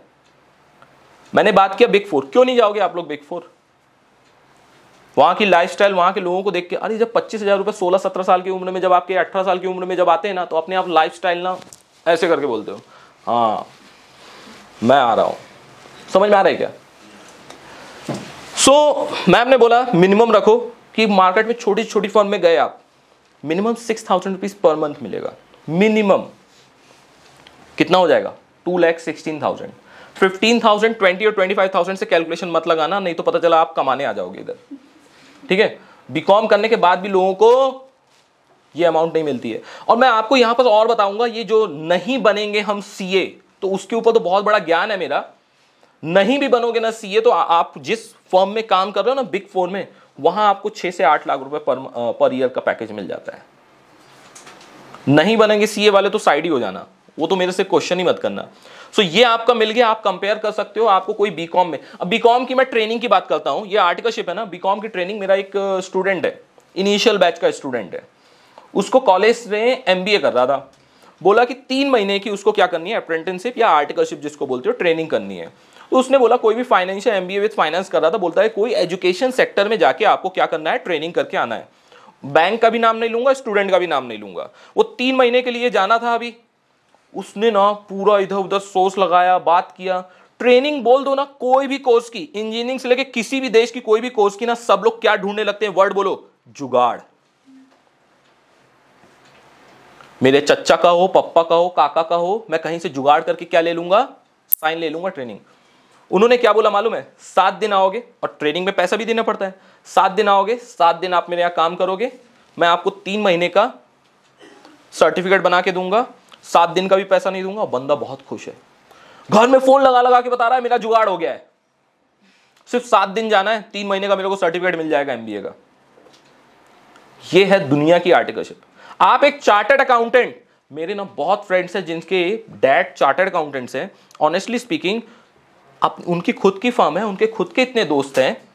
कभी भी वो, कभी भी वो अपनी फर्म में पहले जाने नहीं देते उनको। दूसरे फ्रेंड की फॉर्म में भी गए हैं ना फ्रेंड का भी डैड रहेगा ना, जानता है मेरे फ्रेंड की बेटी है। टाइमिंग जो आने का है और जो जाने का है। कोई उसको लिबर्टी नहीं मिलती एक्स्ट्रा कोई एक्स्ट्रा लीव नहीं मिलती कि बोले कि एग्ज़ाम की प्रिपरेशन कर ले। और मैंने तो देखा जहाँ मैंने आर्टिकलशिप बाद में और आगे की की ना उसकी खुद की बेटी उसी फर्म में थी। आने का टाइम जाने का टाइम और एक फ्रेंड है, उसके डैड तो उससे ओवर टाइम ऊपर घर है ना। चल। वो क्यों करते हैं ऐसा? अत्याचारी बाप क्यों बन जाते हैं वो पिता? मालूम है आपको? उनको पता है, असली लर्निंग कहाँ पास है, मालूम है आपको? वो आर्टिकलशिप के अंदर है। इसलिए वो कभी स्किप नहीं करने देते। चीज़ें समझ में आ रही हैं क्या? और ये एक के साथ नहीं है मल्टीपल फ्रेंड्स हैं। मैं लाइन से लिस्ट दे दूँगा आपको। सबके डैड ऐसे ही अत्याचारी निकले। सब ऐसे कूट आते हैं ना, फिर वो अपनी मन की भड़ास निकालते रहते हैं तो पता चलता है चीज़ें। बोलते, तेरे को कहा है? तू तो रात के दो बजे तक भी काम कर अरे यार, हम लोगों ने भी रात के चार चार बजे तक काम किया आर्टिकलशिप फॉर्म में। कोई बोलता नहीं है। ऑटोमेटिकली करते हैं। ऑटोमेटिकली होता है। इतना काम ही होता है। और मज़ा भी आता है। ऐसा नहीं है किसी ने बोला है हंटर लेके बैठा है नहीं तो आर्टिकलशिप में हमको कैंसिल कर देगा हमको कोई फेल कर देगा। ऐसा कुछ नहीं है। Nothing is like that okay next आते हैं। अच्छा हाँ फ़ी के बारे में एक डोनेशन के बारे में भी है ये तो बहुत ही सोफिस्टिकेटेड uh, टर्म है डोनेशन आप ना ट्वेल्थ में 80 परसेंट के बिलो ला के हिम्मत करके दिखाओ और एक कॉलेज में एडमिशन लेके दिखाओ मेरे को। कितना परसेंटेज बोला है? मैं तो बोल रहा हूँ 90 के बिलो ला के देखो। और किसी भी कॉलेज में जाना और एडमिशन ले लेना, आप बीकॉम का एडमिशन भी आपको नहीं मिलेगा। आई एम टॉकिंग सीरियसली आपको बीकॉम का भी एडमिशन नहीं मिलेगा। आपको सीधे क्या लगने वाला है? डोनेशन आपको मज़ाक लग रहा होगा, सिर्फ़ बीकॉम में ही ट्वेल्थ का परसेंटेज देखते हैं, और बाकी सभी कोर्सेज के लिए क्या होता है मालूम है आपको? बोलो जल्दी से एंट्रेंस एग्ज़ाम होता है। और आपको तो पता है आपके कितने मार्क्स आने वाले हैं। सो वो डोनेशन वगैरह तो छोड़ ही दो और ये सब तो चल रहा है। जॉब प्लेसमेंट तो पहले केस में तो हंसना थोड़ा सा पैसे तो दूर की बात है सर, पहले जॉब तो दे दे वो। राइट ना? सी एस और सी ए की डेफिनेटली सिर्फ़ जॉब नहीं होती, आगे चल के मैं नेक्स्ट स्लाइड में आपको बताने वाला हूँ। ज़िंदगी के असली मज़े होते हैं, दुनिया में आप कुछ भी कर सकते हो, कुछ भी कर सकते हो। इंजीनियर नहीं हो, तब भी आप आईटी कंपनी डाल सकते हो। और लोगों ने किया है, मैं आपके आगे चल के दिखाता हूँ। Okay so no doubt duration आपका यहाँ पास सबको पता है ग्रेजुएशन कितने साल का होता है? तीन साल का और दो साल का पोस्ट ग्रेजुएशन टोटल मिनिमम आपको कितनी स्टडी करनी है? फाइव ईयर्स की. उसके पहले 2.5 ईयर्स में सीएस होता है और कितना? Four four point five years में आपका क्या हो जाता है? C A maximum three point five to four years में हो जाता है. आपके दोस्त वगैरह कहीं कुछ भी पढ़ रहे होंगे, कितने भी आपको अटेम्प्ट भी लग गए, तब भी पाँच साल के अंदर आपका भी हो जाएगा ये. रिस्पेक्ट रिस्पेक्ट एक बहुत बड़ा अच्छा टॉपिक है मेरे लिए. पहले सैलरी आपके लिए कैलकुलेट कर देता हूँ। सैलरी में किसी को डाउट है? मैम ने बोला मिनिमम मिनिमम सैलरी रखो, कोई किसी प्रकार का ऐसा ना दिखे। ठीक है? मैं आपको बताता हूँ रियल लाइफ में बिग फोर में यदि आप एक आर्टिकलशिप करते रहते हो तो ये तो मिलता है आर्टिकलशिप में। मिनिमम टेन से ट्वेल्व लाख रुपीस आपको पैकेज लगता है। फ़र्स्ट जैसे ही सीए बन जाते हो। Minimum minimum I am talking about and within a fraction of years आपका वो फिफ्टीन एटीन एंड ट्वेंटी होता है। मैं पहले से क्लियर कर देता हूँ, मैं अभी के करंट सिचुएशन की बात बता रहा हूँ। और आप ना बिग फोर में जाने वाले जो आर्टिकल्स होते हैं ना, उनको ही देख के ना आप पानी पानी हो जाओगे। जैसे आईसीएसई बोर्ड के एक स्टूडेंट बस से जैसे उतरता है तो आप देख के लगते हैं, यार, ज़िंदगी तो लगता है, यही जी रहा है। सेम मैनर ऐसा लगता है भाई, ये तो कहीं लगता है, स्वर्ग में जाता है। उनका look feel confidence body language सब अमेजिंग होता है। अभी बैठने के आपके तरीका कोई ऐसे बैठा, कोई ऐसे ऐसे ऐसे कर रहा है, ऐसे ऐसे कुछ खा रहे हैं, कुछ लोग ऐसे ऐसे कर रहे हैं। यू कांट बिलीव यदि आपको देखना हो, धोनी को पता था कि आगे चल के वो कैप्टन बनेगा वर्ल्ड कप जीता के लाएगा, उसको तो लग नहीं रहा था उसका क्रिकेट में करियर है। अब तो मूवी देख ली है ना आप लोग ने। आप काम करना, घर जाके ना जितने भी आपके ये पुराने शाहरुख खान, आमिर खान, सलमान खान, जितने लोग को आप एडमायर या देखते हो ना, आमिर खान यहाँ से पैंट पहनता था। नहीं है भरोसा ना? आप पुरानी इमेज देखना, वो कितनी मूवियाँ उनकी इनिशियली जो सलमान खान वगैरह किए हैं, हम साथ साथ हैं ऑल देखना कहाँ से पैंट पहन रहे हैं, क्या दिखते हैं लुकड़े सुकड़े से। पहले दिन से नहीं रहते। आप लोग कभी ओवरकम आने वाला है। ये समय से आपकी अभी कोई मिस्टेक नहीं है। लेकिन वैसा काम उनको करना पहले आपको भी पड़ेगा। उतनी मेहनत करनी पड़ेगी। ओके नेक्स्ट आते हैं रिस्पेक्ट में। कुछ दिख रहा है क्या? मान लो ये आपके घर का रिमोट है हाँ? घर जाना, आज, सब लोग घर जाना, आज रिमोट को गिरा देना। मेक श्योर sure कि सामने आई नहीं तो बाबा होने चाहिए। इसको कोई उठा के नहीं देखेगा कि ये टूटा है, चल रहा है कि नहीं चल रहा। है आपको इतनी गालियाँ पड़ चुकी होंगी, इतने संबोधित हो चुके होंगे आप इतनी रिस्पेक्ट मिल चुकी होगी कि पुरानी जितनी भी इतिहास है, निकाल निकाल के ना लाया कभी पढ़ता लिखता नहीं, जब देखो टीवी देखता रहता है टीवी तोड़ता रहता है, हमारा नुकसान करता रहता है। इतनी लगे, क्यों मैं इस घर में पैदा हुआ? कानों से खून निकलने लगते हैं। उसके बाद आपका ब्रदर कोई आएगा, बड़ा कोई रहेगा, आप तो बोल रहे हो सब हम ही बड़े हैं घर में। मालूम है आजकल जनरेशन ही ऐसी हो गई है, सब बड़े ही होते हैं घर में। ब्रदर आएगा ब्रदर झापेगा। बैठता है, पढ़ाई लिखाई करता नहीं, कुछ नहीं, सब तोड़ता रहता है। और कॉमर्स लेके तो पहले ही आपने गलती कर दी है। ज़िंदगी के असली मज़े लेने थे, इसलिए आपने कॉमर्स ले लिए तो एकदम रख के सुनाएँगे। शाम को सोचो, बाबा आने वाले रहेंगे तो आपकी आधी हालत तो वैसे ही खराब रहेगी कि बाबा आके अलग से झापेंगे और सोचो, टूट जाए, सिर्फ़ क्रैक आ जाए रिमोट चल भी रहे ना तो भी आपको कितनी झपाई होगी। ये आपकी घर में इज़्ज़त है। और मैं आपको बता रहा हूँ, ये रिमोट खास करके जब आप बीकॉम बीबी और एमबीए कर रहे होंगे तो कभी मत गिराना घर में। भाई आपके कान, आँख सब जगह से खून निकाल दिए जाएँगे। इतना सुनाया जाएगा कि मतलब ज़िंदगी में नालायक को कुछ करना ही नहीं था, इसलिए मेरे घर में ही यही नसीब में आया। ये तोड़ रहा है, कुछ करता नहीं है, पढ़ता लिखता नहीं है, भागता रहता है, टपरियों में लॉन्डो के साथ घूमता रहता है, घूमती रहती। भाई कानों से खून निकाल देंगे आपके। तो बीकॉम बीबीए करते वक्त रिमोट घर में कभी नहीं गिराने का। अब मैं इज़्ज़त की बात बताता हूँ। पहले आज घर में जाना, जो लोग ने कभी कभी ऐसे बात ही नहीं की। आई असं वाटत आहे मला की आज सीए कर लेते हैं, सीए कर लेता हूँ। वो ऐसे करेंगे, देखो। वो कुछ कर रहे होंगे। क्या? क्या बोला? वो पहले ही इंस्टेंस में शॉक हो जाएँगे। सिर्फ़ आप मार्केट में बोलो कि आपने सीए की क्लासेस लगाई, आप सीए फाउंडेशन कर रहे हो। आप पॉइंट ऑफ़ डिस्कशन बन जाओगे सोसाइटी में फ्रेंड्स रिलेटिव्स में। आप ये फाउंडेशन क्रैक सिर्फ़ कर लो, आपके टेबल में आपके खुद खुद के माँ बाप सौतेले सौतेले टाइप के लगने लगेंगे। रीजन क्या है? इतनी रिस्पेक्ट टेबल में आपके पानी आएगा। रात को ग्लास में गर्म दूध आएगा आपके टेबल में। बेटा, पढ़ रहा है इतना, थोड़ा दूध पी ले।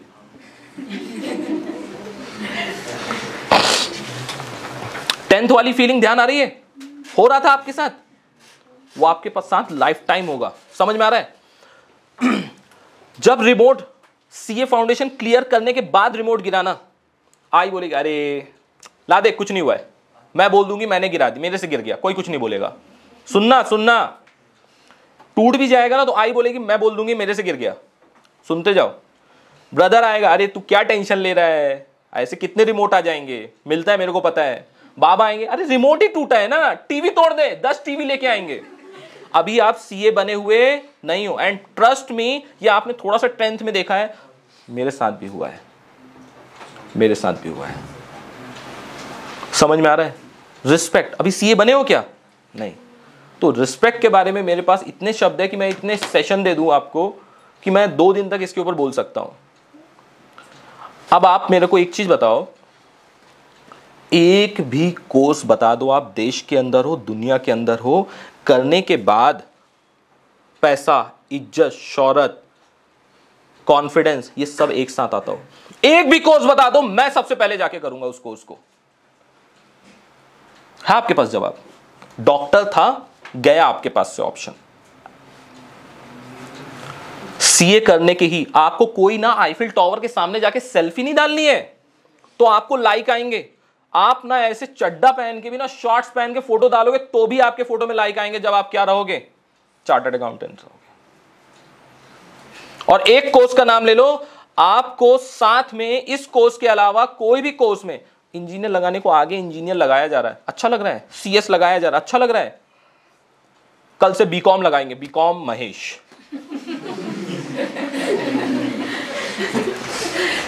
देश में अंदर तो दो ही लग रहे हैं ना अभी तक। डॉक्टर बोलने में मज़ा आता है और सीए बोलने में मज़ा आता है। रिस्पेक्ट समझ में आ रहा है? एक ऐसा कोर्स डॉक्टर के साथ भी ना ज़िंदगी भर एक और इंपॉर्टेंट है लॉयर डॉक्टर करके देखो। ज़िंदगी भर पहले ना आपको रगड़ना पड़ता है पहले दिन से पैसे नहीं आते। पता है ना ये बात? आप कोई नए डॉक्टर के पास जाओगे ट्रीटमेंट के लिए? कितना भी बड़ा सर्जन हो गया हो। जाओगे आप? मैं नहीं जाऊँगा। करवा लोगे अपनी सब्ज़ी। ब्रेन सर्जरी हो रही तुम्हारी। सो so, एक एकलौता कोर्स है जहाँ पास आपको पहले दिन से इज़्ज़त जिसको अपन रिस्पेक्ट बोलते हैं पैसा बोलते हैं शोहरत बोलते हैं खुशी बोलते हैं सब एक साथ आएगी। और घर वालों से यदि आपको रिस्पेक्ट मिल गई नहीं तो समझ लो क्या बोल बात सही है कि नहीं है? घर वाले घर में तो आपकी क्या लगी रहती है मेरे को पूछो मत। आपको खुद पता है आपको खुद आपको खुद रिमाइंड आते होंगे कि यार घर वाले हाँ बात तो सही है, अभी घर भी जाएँगे तो शक बनी निगाहों से देखते हैं कहाँ से आ रहा है? बोला था क्लास जा रहा हूँ लेट हो गया। कितने शक बनी निगाहों से आपको देखा जाता है। चलो, ज़्यादा बोलने की ज़रूरत नहीं है। अब आपके मैं आता हूँ कि, सर, सीए गलती से बन गए। कुछ लोग चल रहे हैं ना, अभी फेल वालों के पास तो ज़रूर आ रहा हूँ। एक और मैम ने ऑलरेडी आपको कम्युनिकेट किया होगा कि सीए के साथ आप एक अदर डिग्री कर सकते हो right is permitted as per the rules and rules and regulation और दूसरा सबसे इंपॉर्टेंट पॉइंट है कि आपको पता है, ये सीए चार्टर्ड अकाउंटेंट नहीं है। The institute of chartered accountant of India है, जो कि गवर्न होता है सीए एक्ट 1949 से। किससे गवर्न होता है? सीए एक्ट 1949 से। इसका जो डिस्कशन होता है, यदि कोई पॉलिसी नया एजुकेशन सिस्टम नया कुछ चेंज करना है तो कहाँ होता है मालूम आपको? कहाँ डिस्कशन होता है? एनीवन एक्ट के अंदर चेंजेस लाना है तो कहाँ डिस्कशन करना पड़ेगा? बोलो। पार्लियामेंट के अंदर। और यूनिवर्सिटी कहाँ की होती है पता आपको? किसी सिटी या स्टेट की होती है। स्टेट परमिशन लगता है। और उसका डिस्कशन लेकिन ना यूनिवर्सिटी के अंदर ही होता है। एक बार परमिशन मिल गई तो उसके बाद आप अपने घर में बैठो। समझ में आ रहा है? नेक्स्ट आपको बताते हैं चार्टर्ड अकाउंटेंसी कोर्स के दम क्या है। शार्क टैंक के मेजर जितने भी आज तक जो जज आए हैं, वो कौन रहे मालूम है आपको? चार्टर्ड अकाउंटेंट्स थे। Chartered accountants Aman Gupta, boAt, सबके जेब में होगा राइट कुमार मंगलम बिरला। नेक्स्ट आपके आ रहे हैं पीयूष गोयल जी, सुरेश परब, प्रभु जो आपके टॉप पॉलिटिशियन मिनिस्टर्स हैं, अभी भी उनकी कितनी रिस्पेक्ट है। इसके नीचे आपके शेखर कपूर। अच्छा मिस्टर इंडिया मूवी देखा है? अरे इमेज का गए होगे ना? अरे, मिस्टर इंडिया? कुछ गलत बोल रहे हो क्या? यही थे। शेखर कपूर जी थे, वही प्रोड्यूसर थे। Chartered accountant next Motilal Oswal, Rakesh Jhunjhunwala. अभी राकेश झुंझुनवाला ने रिसेंटली अब नहीं रहे, लेकिन आपको क्या लॉन्च करके दिया बताओ? आकाशा एयरलाइंस। अरे, मैं ये क्यों बता रहा हूँ? There is no limit in a chartered accountancy course अब मैं आपको आर्टिकलशिप की बात बताता हूँ कि इतना आर्टिकलशिप में सीखा है कि हर, मेरे पास जो क्लाइंट थे, सभी के सभी मैन्युफैक्चरिंग यूनिट थे। Tyre industry paper industry cloth industry chemical industry कुछ नहीं छोड़ा। ये मेरा पर्सनल इंटरेस्ट था। कुछ लोग होते हैं ऑफ़िस से बैठ के ऑडिट करते हैं, अपन ऑफ़िस नहीं। फैक्ट्री में जाके ऑफ़िस में जाके ऑडिट करके आते थे। सब देखा है अपन ने। ये इंटरेस्ट होता है अपना अपना। आपने सिर्फ़ अभी ये कौन सी तेलगी वाली में नाम क्या है उनका? सबको पता होगा। अब्दुल करीम तेलगी। तब आपने स्टैम्प पेपर प्रिंटिंग का देखा होगा प्लेट होती मशीन होती। अपन ने आज से दस साल पहले ही ना जाके नोट प्रिंटिंग कैसे होती है, पूरा सिस्टम और पूरा अंदर से डिटेल में देख के आया हूँ। और ये सिर्फ़ ना, मैं तब चार्टर्ड अकाउंटेंट नहीं था, बात कर रहा हूँ तब जब मैं आर्टिकलशिप में था सिर्फ़। ये आपके अंदर पावर आती है। आपके ऊपर का भरोसा सिर्फ़ आप क्या हो? और आप ना ये बड़े बड़े लोगों के साथ जाके सिर्फ़ बैठ के डिस्कस करके आ जाते हो, सिर्फ़ on the basis of you are just an C A student इतने बड़े लोगों से जब आप उठते बैठते हो, तब आपको दुनिया के बारे में समझ में आता है कि दुनिया कहाँ है। जब आपके फ्रेंड जो B com B B M B A करते रहते हैं, यहाँ वहाँ भागते रहते हैं, यहाँ वहाँ इवेंट करते रहते हैं, यहाँ वहाँ वो टाइम पास करते रहते हैं, कटता रहता है, तब तक आप क्या कर रहे होते हो? देश के और दुनिया के बड़े बड़े लोगों से और बिजनेसमैन से आप मिलते रहते हो। प्रणव राय जर्नलिस्ट हैं। मैं इनके किसी के बारे में भी कितना भी बोलूँ, कम है। नेक्स्ट आते हैं। एक सबसे बड़ा प्रॉब्लम है। Many people will panic to find a charger before their dream before their phone dies घर में आपके दो परसेंट और पाँच परसेंट बैटरी हो, बताओ कैसे करते हो आप लोग? एक बार बताओ कौन कौन बताएगा? करके बताओ। चार्जिंग खत्म होती रहती है तो कैसे भागते हो? But you not panic to find a perfect career before your dream dies कभी इसके बारे में सर्च किया है, कुछ सोचा है, क्या करने वाले हो? इन डिटेल जिसने डिसाइड भी किया था तो उसने कभी रिसर्च किया है? क्या सीए के अंदर और क्या क्या होता है क्या क्या किया जा सकता है? नहीं. उसके बारे में कोई भी रीड इट वंस अगेन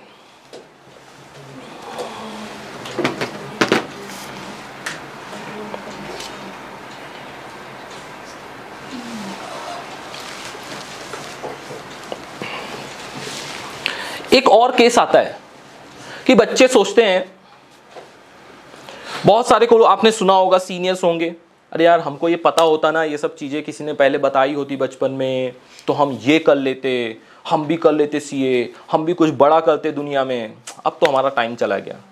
आप तो कम से कम अपने आप को इस मामले के लिए भी इस टॉपिक के लिए भी नहीं कोश पाओगे ब्लेम नहीं कर पाओगे बिकॉज़ आज मैंने आपको सब बता दिया है कि आपको लाइफ में कुछ ना कुछ तो बड़ा करना ही पड़ेगा, तब जाके आप सक्सेसफुल बन सकते हो अदरवाइज़ ना, वहीं रह जाओगे। एक दूसरा पॉइंट और आता है कि आप क्या करते हो, एक कान से सुनना है, भगवान ने एक कान, दो कान क्यों दिए हैं? हमने बचपन से सीखा है मज़ाक मज़ाक में, एक कान से सुनने के लिए और दूसरे कान से निकाल देने के लिए, बराबर? यहाँ से हम जाएँगे, सर, चाय पियेंगे, शाम तक में हो गया और मॉर्निंग तक मैक्सिमम रहेगा, सर, सब कुछ अंदर। वॉशरूम गए ब्रश किया और बाकी उसके बाद सब फ्लश उसके बाद हमको याद नहीं आता। उसके बाद हमको याद नहीं आता। सर इमेजिका जाने का प्लान हो रहा था हमारा नेक्स्ट संडे वो याद है। करियर के रिगार्डिंग कोई भी, कोई डिस्कशन नहीं कर रहा है। अभी भी समय है टाइम से देखो। So listen learn to listen sometimes opportunity knocks very softly ऐसा नहीं हो जाए समय निकलने के बाद आप खुद को बोलते रहो कि हमने ये क्यों नहीं किया। अब मैं आपको बोल रहा हूँ कि आ, कुछ लोग ऐसे बोलेंगे कि सर हम डांसर बनना चाहते हैं हम सिंगर बनना चाहते हैं। मैं उनके साथ हूँ मैंने पहले ही बोला इसके टॉपिक के ऊपर है। मैं चाहता हूँ कि आप सब लोग जिस जिस फ़ील्ड में एक्सपर्ट हो आप उसी फ़ील्ड में सब लोग जाओ। ज़रूरी नहीं है कि आपको सीए ही करना है। मैं यहाँ ऐसे इसलिए नहीं बोल रहा हूँ कि सिर्फ़ सीए हम पढ़ा रहे तो हम सीए ही कर लो। मैं आपके पेरेंट्स के साथ खड़े हो जाऊँगा बोलने के लिए कि हाँ इसको सिंगिंग डांसिंग क्रिकेटर जो भी आपको कुछ लोग का पेंटिंग डिज़ाइनिंग आर्टिस्ट जो बनना हो बनो। लेकिन आपको कोई बकवास कोर्स ज़िंदगी में करना होगा। मैं आपको पकड़ के, मैं आपके साथ ज़बरदस्ती आई विल टेल यू मैं आपको फोर्स करूँगा कि क्या करो आके? सीए करो। कोई बकवास कोर्स करने से तो अच्छा है। अब एक और पॉइंट रहता है सर सीए में फेल हो जाते हैं या जो भी है, एक ये डर है। मैं आपको एक चीज़ बता रहा हूँ। अपने आपको एक ट्राई तो दो, बनो ना बनो तो एक एक डिफरेंट पॉइंट है। एक कोशिश तो करके देखो, बन गए तो सातवें आसमान में।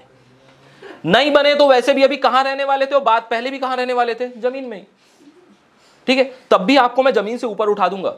क्योंकि आपने थ्री इडियट्स का भी एक डायलॉग सुना होगा, काबिल बनो। सक्सेस आपके पीछे कैसे आएगी? बोलो, मैं नहीं बोल सकता यहाँ। समझ में आ रहा है ना? जिनको आ गया, जिन्होंने ठीक से मूवी देखी है तो वेल एंड गुड सो काबिल बनो आप। काबिल बनने के लिए मैं बोल रहा हूँ सीए आपको ना सीए बनने के लिए नहीं बनना है। सीए का नॉलेज गेन करने के लिए सीए करने के लिए आपको करना है। जो नॉलेज आपको मिलने वाला है ना अनकंपेरेबल है। अब आपको मैं एग्ज़ाम्पल दे देता हूँ डायरेक्ट टैक्स की बुक ऐसी रहती है। ऐसी कितनी बुक रहती मालूम है? आठ बुक रहती है। ऐसी थप्पी लगती है, सिर्फ़ एक सब्जेक्ट सिर्फ़ सीए फाइनल की और उसमें मैं क्यों डरा हूँ नहीं? अरे, क्यों डर रहे हो तुम लोग? जब nursery L K LKG UKG में थे और फ़र्स्ट स्टैंड में पहुँचे थे, आई, दहावी आणि बारहवी डिफ़िकल्ट असेल ना? काय काय सिलेबस असणार आहे? किसी ने पूछा था? किसी ने पूछा था?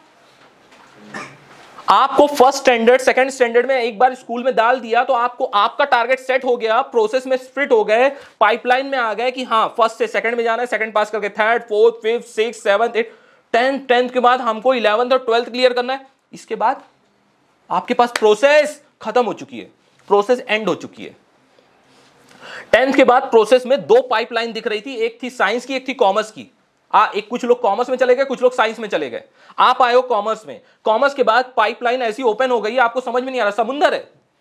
करना हो जो करना हो करो। अब मैं बोल रहा हूँ इतनी सारी पाइपलाइन है एक सही पाइपलाइन में एक सही प्रोसेस में अंदर चले जाओ अपने आप क्या निकलोगे? जैसे आप फ़र्स्ट स्टैंडर्ड में अंदर आए थे आप ट्वेल्थ करके निकल रहे हो वैसे ही आप क्या करो? एक अच्छे कोर्स में अंदर आ जाओ एक अच्छे इंसान और सक्सेसफुल बिजनेसमैन और वुमेन बन के निकलोगे। आप क्यों टेंशन ले रहे हो? मेहनत आपको ना टाइम पास करने में भी लगेगी। रात रात भर आपको वेब सीरीज़ देखनी पड़ेगी, टपरी में खड़ा होना पड़ेगा, धूप में घूमना पड़ेगा इधर उधर भागना पड़ेगा अरेंज करना पड़ेगा कि आज कहाँ घूमने जाना है, कल तो यहाँ घूम के आ गया, कहाँ जाए? टाइम वेस्ट करने के लिए भी आपको मेहनत करनी पड़ेगी। दूसरा, आप पढ़ाई करने में अनोइंगली जब साथ में सब बैठोगे, सब करोगे, एक लीडर के आगे चलोगे, या लीडर के पीछे चलोगे, आप पढ़ते जाओगे पढ़ते जाओगे पढ़ते जाओगे, आपको भी नहीं पता चलेगा कि आपने इतना सारा कोर्स कब पढ़ लिया और आप कब सीए बन गए।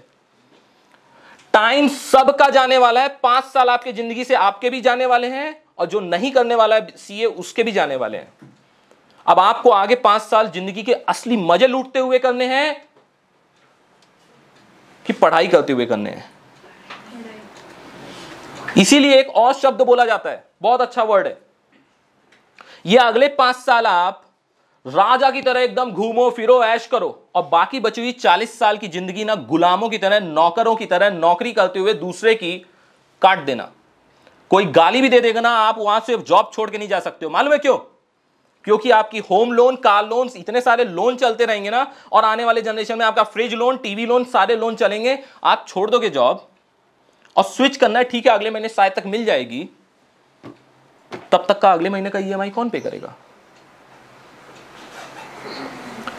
इसलिए बोला गया है, ये पाँच साल राजा की तरह ना जी के ये पाँच साल एक नौकरशाही की तरह जियो। एकदम एफर्ट्स लगाओ, इतनी मेहनत करो कि बाकी बची हुई ज़िंदगी जो 40 साल है ना, राजा की तरह जियो। तो आपके पास दो ऑप्शन है, ये पाँच साल आपको कैसे जीने जैसे आपके लाइफ के एक साल गायब हो गए, सबके गायब हो गए, गायब हुआ इलेवेंथ ट्वेल्थ भी गायब होने वाला है। पता नहीं चलेगा, आपको इंगेज कर दिया जाएगा, ये असाइनमेंट है, ये टेस्ट है, ये यूनिट टेस्ट है, ये टर्मिनल है, ये प्रीलिम्स है, ये दिवाली है, खत्म। ये आज रिवीजन बैच है, ये बैच है, वो बैच है, खत्म हो जाएगा। ग्यारहवीं खत्म होगी आपकी, जैसे वैसे ट्वेल्थ खत्म होगा। और अगले पाँच साल में लिख के दे रहा हूँ, जिसको जहाँ जहाँ लिखना, लिख के रख लेना। पाँच साल आपकी ज़िंदगी से गायब होने वाले हैं।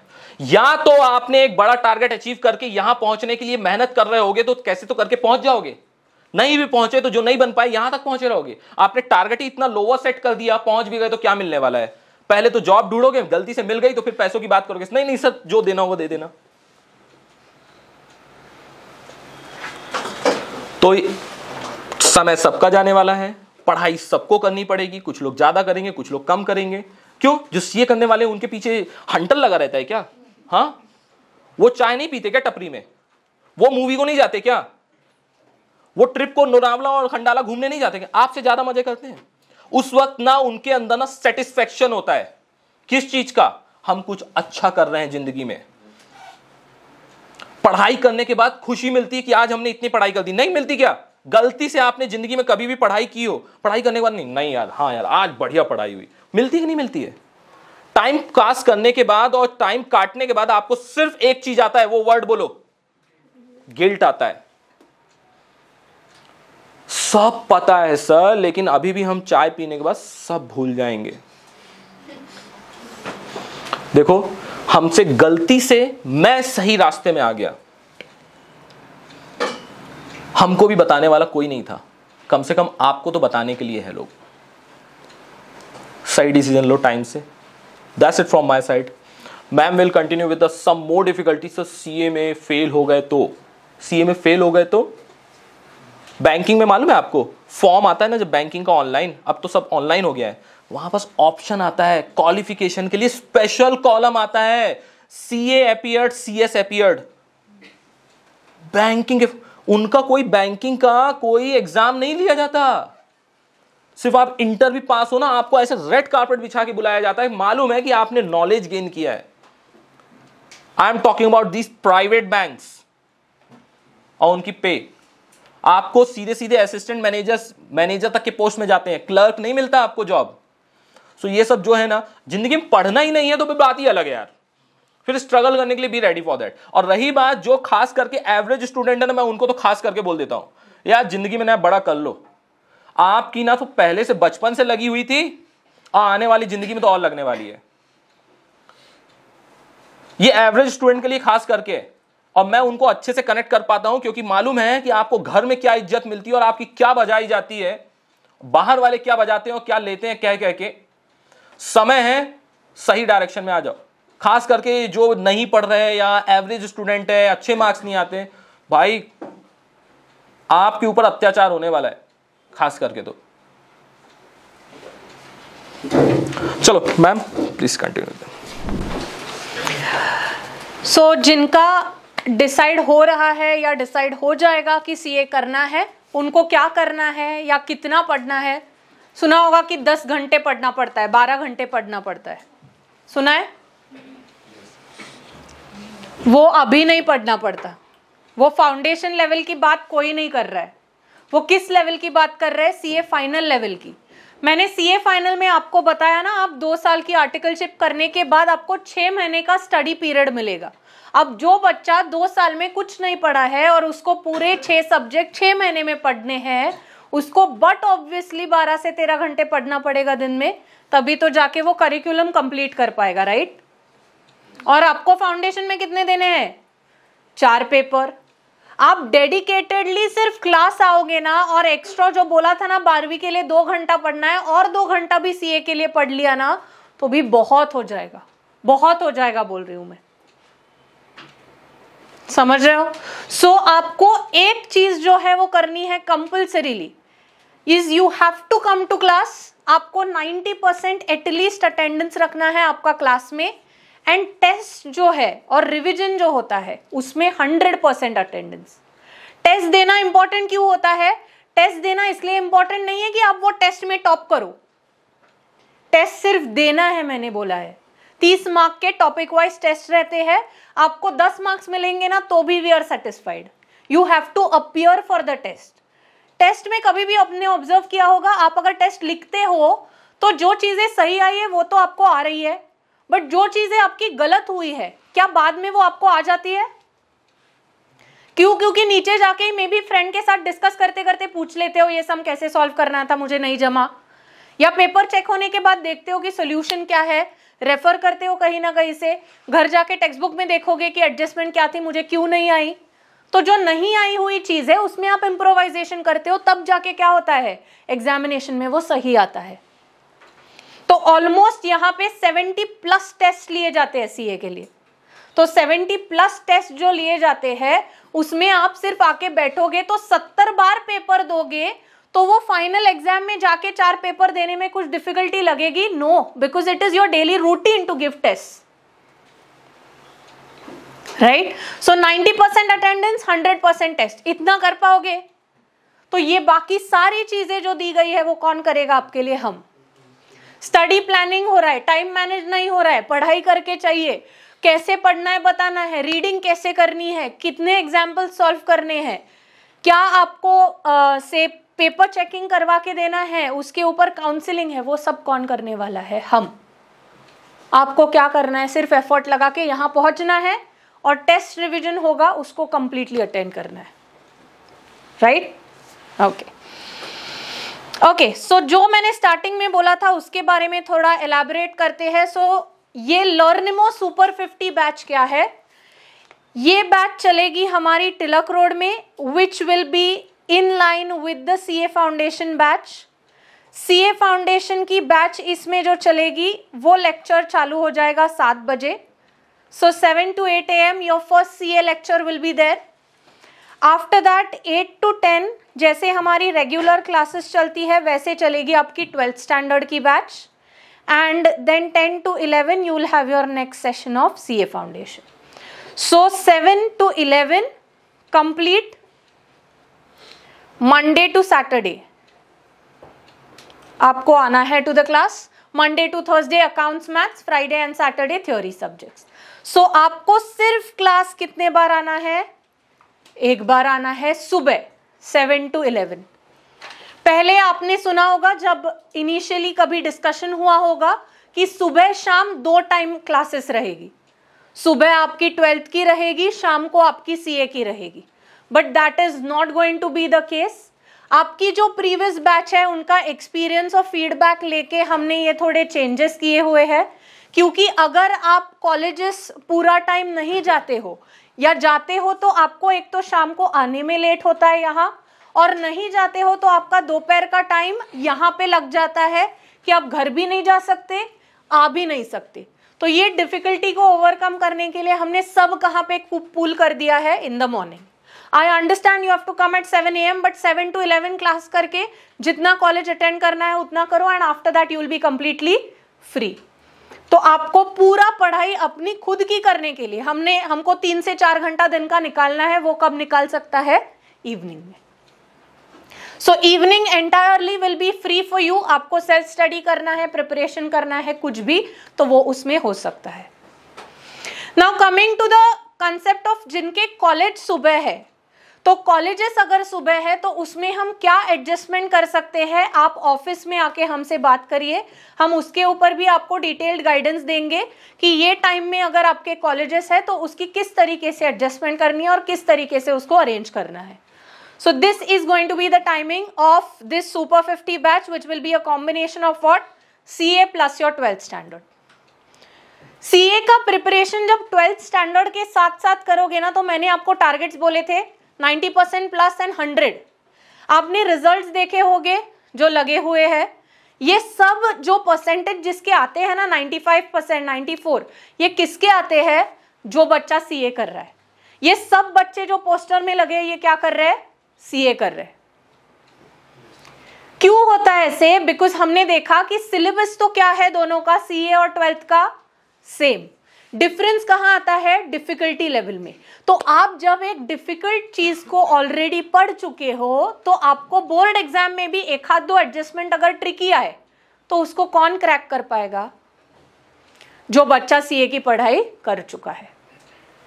So that's why your scoring your percentage is always going to be on the higher side तो डिफिकल्टी लेवल भले ही ज़्यादा है बट क्या ये आपके लिए विन विन सिचुएशन बन रहा है? For twelfth standard also yes getting the point okay अब यहाँ पे आपने कुछ मिसकंसेप्शन सुने होंगे सीए के बारे में। किस किस का एसपी है यहाँ पे? और सीए करना चाहते हैं। क्यों? एसपी है तो डर लग रहा है। मैथ्स नहीं है। सीए कैसे करेंगे? ऐसे होता है ना?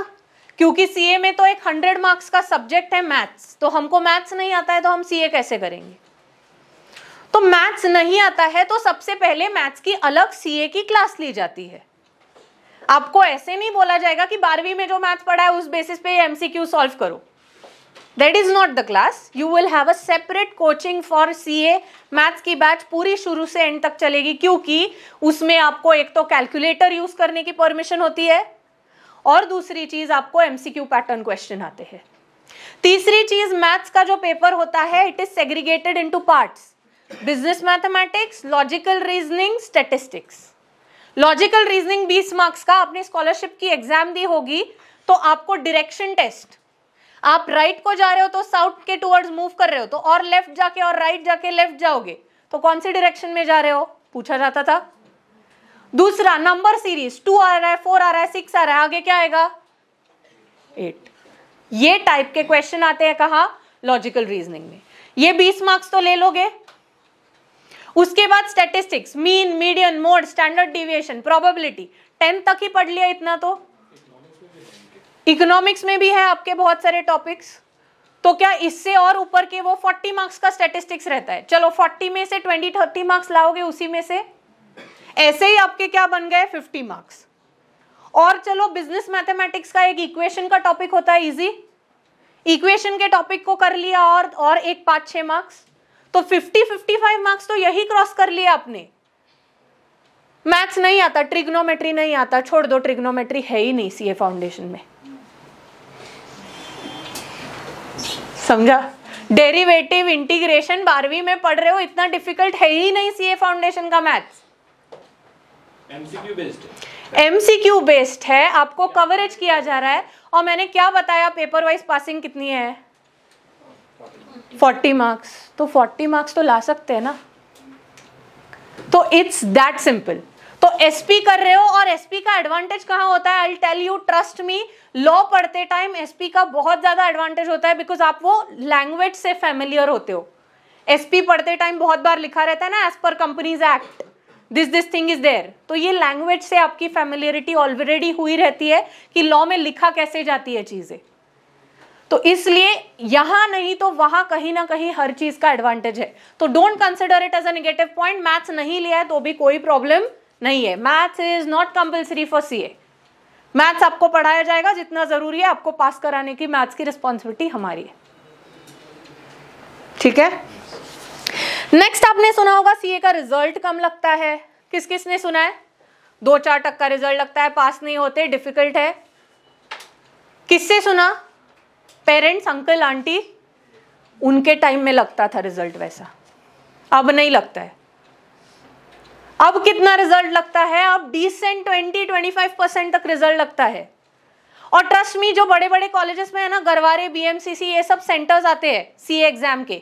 जब सीए एग्ज़ाम रहेगी ना, एक बार कॉलेज में जाके देखना, जो भी एग्ज़ाम हॉल रहता है ना, उसमें बेंचेस रहेंगे सिक्सटी बैठे होंगे सिर्फ़ तीस से पैंतीस लोग। क्लास खाली रहती है। क्यों? एग्ज़ाम प्रेशर पढ़ा नहीं है। अब जाए कि ना जाए जाए कि ना जाए पेपर को। तैयारी तो हुई नहीं है। तो लोग एग्ज़ाम को ही नहीं पहुँचते। पहुँचते कितने हैं? आधे लोग पहुँच रहे आधे लोग पहुँच रहे हैं, उसमें ट्वेंटी थर्टी परसेंट रिज़ल्ट लग रहा है। मतलब एक्चुअली रिज़ल्ट कितना लग रहा है? सिक्सटी परसेंट जाके चेक करना। बोर्ड एग्ज़ाम होती है ना ट्वेल्थ स्टैंडर्ड की, उसका रिज़ल्ट भी इतना ही लगता है। सिक्सटी सेवेंटी परसेंट आप सोचते हो हम ट्वेल्थ में फेल होंगे? नहीं, फिर सीए में क्यों सोच रहे हो कि हम फेल होंगे? You have to decide whether you will be in the failing boat और you will be in the passing boat twelfth में आपको कॉन्फिडेंस है ना कि पास होने वाली बोट में हम है। तो वही कॉन्फिडेंस खुद के अंदर लाना है कि यहाँ जाके भी क्या होना है। पास गेटिंग द पॉइंट उसके बाद आपको पता है क्या? ऐसे कभी न्यूज़ सुना है क्या? कि पुणे का सीए का रिज़ल्ट लगा पाँच परसेंट। मुंबई का लगा सेवनटीन परसेंट। ये कोई बोर्ड एग्जामिनेशन नहीं चल रही है। ये कोई स्टेट लेवल एग्ज़ाम नहीं है। ये क्या है? इंडिया लेवल एग्जामिनेशन है। इसका रिज़ल्ट पूरे इंडिया का आता है एक साथ। क्या इसमें एक छोटे से छोटे गाँव का भी बच्चा एग्ज़ाम दे रहा है और आप भी एग्ज़ाम दे रहे हो? बट आप कहा बैठे हो? एक एसी क्लासरूम में बैठे हो, पढ़े लिखे टीचर्स आपको पढ़ा रहे रेफरेंसेस है बुक्स है मॉड्यूल्स पढ़े हैं इंस्टीट्यूट के हैं, हमारे हैं। इतने सपोर्ट के साथ क्या आप बेटर पोजीशन में हो? उस बच्चे से वो गाँव में शायद पढ़ रहा है अकेले। किसको एक्सपोजर ज़्यादा है? हमें। तो किसके पासिंग के चांसेस ज़्यादा है? इंग्लिश थोड़ी ढंग की आती है ना? तो कौन बेटर ऑफ़ पोजीशन में है? आप हो। तो फिर जब ये पैन इंडिया लेवल का रिज़ल्ट है तो you have to prove yourself to be better than others will you be able to do that yes so that's how you are going to stand out that is how you will be in the passing boat समझ पा रहा है? Okay okay. और दूसरा एक question जो सी A foundation twelfth के साथ पढ़ना है तो बर्डन आएगा क्या? बिल्कुल भी नहीं आएगा। क्यों नहीं आएगा? एक तो जो बैच का शेड्यूल है, वो सब सुबह में हमने फिट करा है। सेकेंड थिंग जो है, हम अभी, जैसे मैंने बोला मई में क्लास चालू करेंगे टेंथ ऑफ़ मे से क्लास चालू होगी। टेंथ ऑफ़ मे से टेंथ ऑफ़ जून तक ये शेड्यूल तो रहेगा। इसके साथ साथ थोड़े एक्स्ट्रा सेशंस और रहेंगे सीए के। तो तब आपकी क्या चलती है? कॉलेज लीव मे में कोई कॉलेज नहीं होता है। तो मे में क्या होगा? एक्स्ट्रा सीए की पढ़ाई हम पहले से करके रखेंगे एडवांस में। फिर हम टेंथ दिसंबर तक जैसे ट्वेल्थ का पोर्शन खत्म करते हैं, वैसे ही क्या वाइंड अप होगी हमारी? सीए की बैच टीचिंग आपका सीए का कंप्लीट हो जाएगा उतने ही टाइम में। और फिर आपको क्या दिया जाएगा? ब्रेक किस चीज़ के लिए? ट्वेल्थ स्टैंडर्ड की पढ़ाई करने के लिए। हम ये कभी नहीं चाहते कि आप ट्वेल्थ में स्कोर ना करो और सिर्फ़ सीए में स्कोर करो। हम उल्टा चाहते हैं कि आप ट्वेल्थ में भी 95 परसेंट लाओ, उधर भी अकाउंट्स मैथ्स में 100 मार्क्स लाओ और सीए में भी टॉप करो।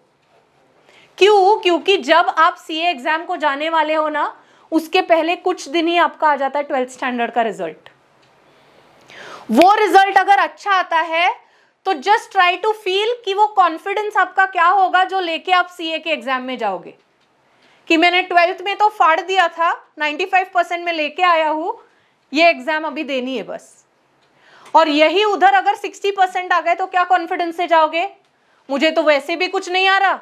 सीए का भी नहीं जम रहा था। मैं बोर्ड्स में भी इतने कम मार्क लेके आया हूँ। मैंने बताई होगी मेरी स्टूडेंट की एक स्टोरी उसके मैसेज आए थे, उसको सीए ट्वेल्थ में कम मार्क्स मिले तो वो बोल रही थी I am not deserving enough to go for C A मैंने मेरे क्लास में बहुत बार बोला है, आप अगर टारगेट इतना सेट करोगे एमबीए करना है लॉ करना है तो बुरी बात नहीं है। कहाँ से करना है ये इंपॉर्टेंट है। एमबीए करो आईआईएम से करना चाहते हो, करो I am for it law करो टॉप लॉ के कॉलेजेस में जाके करो। क्यों बोल रहे हैं ऐसे? क्योंकि जब एमबीए कर रहे हो और जब लॉ कर रहे हो तो बल्क में लोग जब एक कोर्स करते हैं तो सिर्फ़ टॉपर्स की इज़्ज़त होती है। टॉप कॉलेज में पढ़ने वाले की इज़्ज़त होती है। टॉप, टॉपर निकलने वाले जो टॉप थ्री, फोर रैंकर्स होते हैं कॉलेज के, उनकी इज़्ज़त होती है। सीए में बन रहे कम लोग तो इसलिए सबको इक्वल वेटेज मिल रहा है। नहीं तो बाकी कोर्स कोई भी करो, बुरा नहीं है कोई कोर्स क्या करना है आपको? टारगेट कहाँ सेट करना है? यहाँ। यहाँ का टारगेट फेल होता है तो इधर ही तक आते हो ग्राउंड लेवल तक फिर से कभी नहीं आते। So set a target of I am set a target की क्लैट में स्कोर करके टॉप लॉ कॉलेज में जाना है. नॉट अ प्रॉब्लम ये करना है तो डेफिनेटली गो नहीं करना है तो जैसे हमने बोला सीए एक एक्सपोजर है. सी एक एक्सपीरियंस है to make you a better human being पूरा करना है, इसलिए नहीं करना है, करने के लिए करना है, ताकि एटलीस्ट स्ट्रगल लाइफ में होता क्या है, वो तो समझे.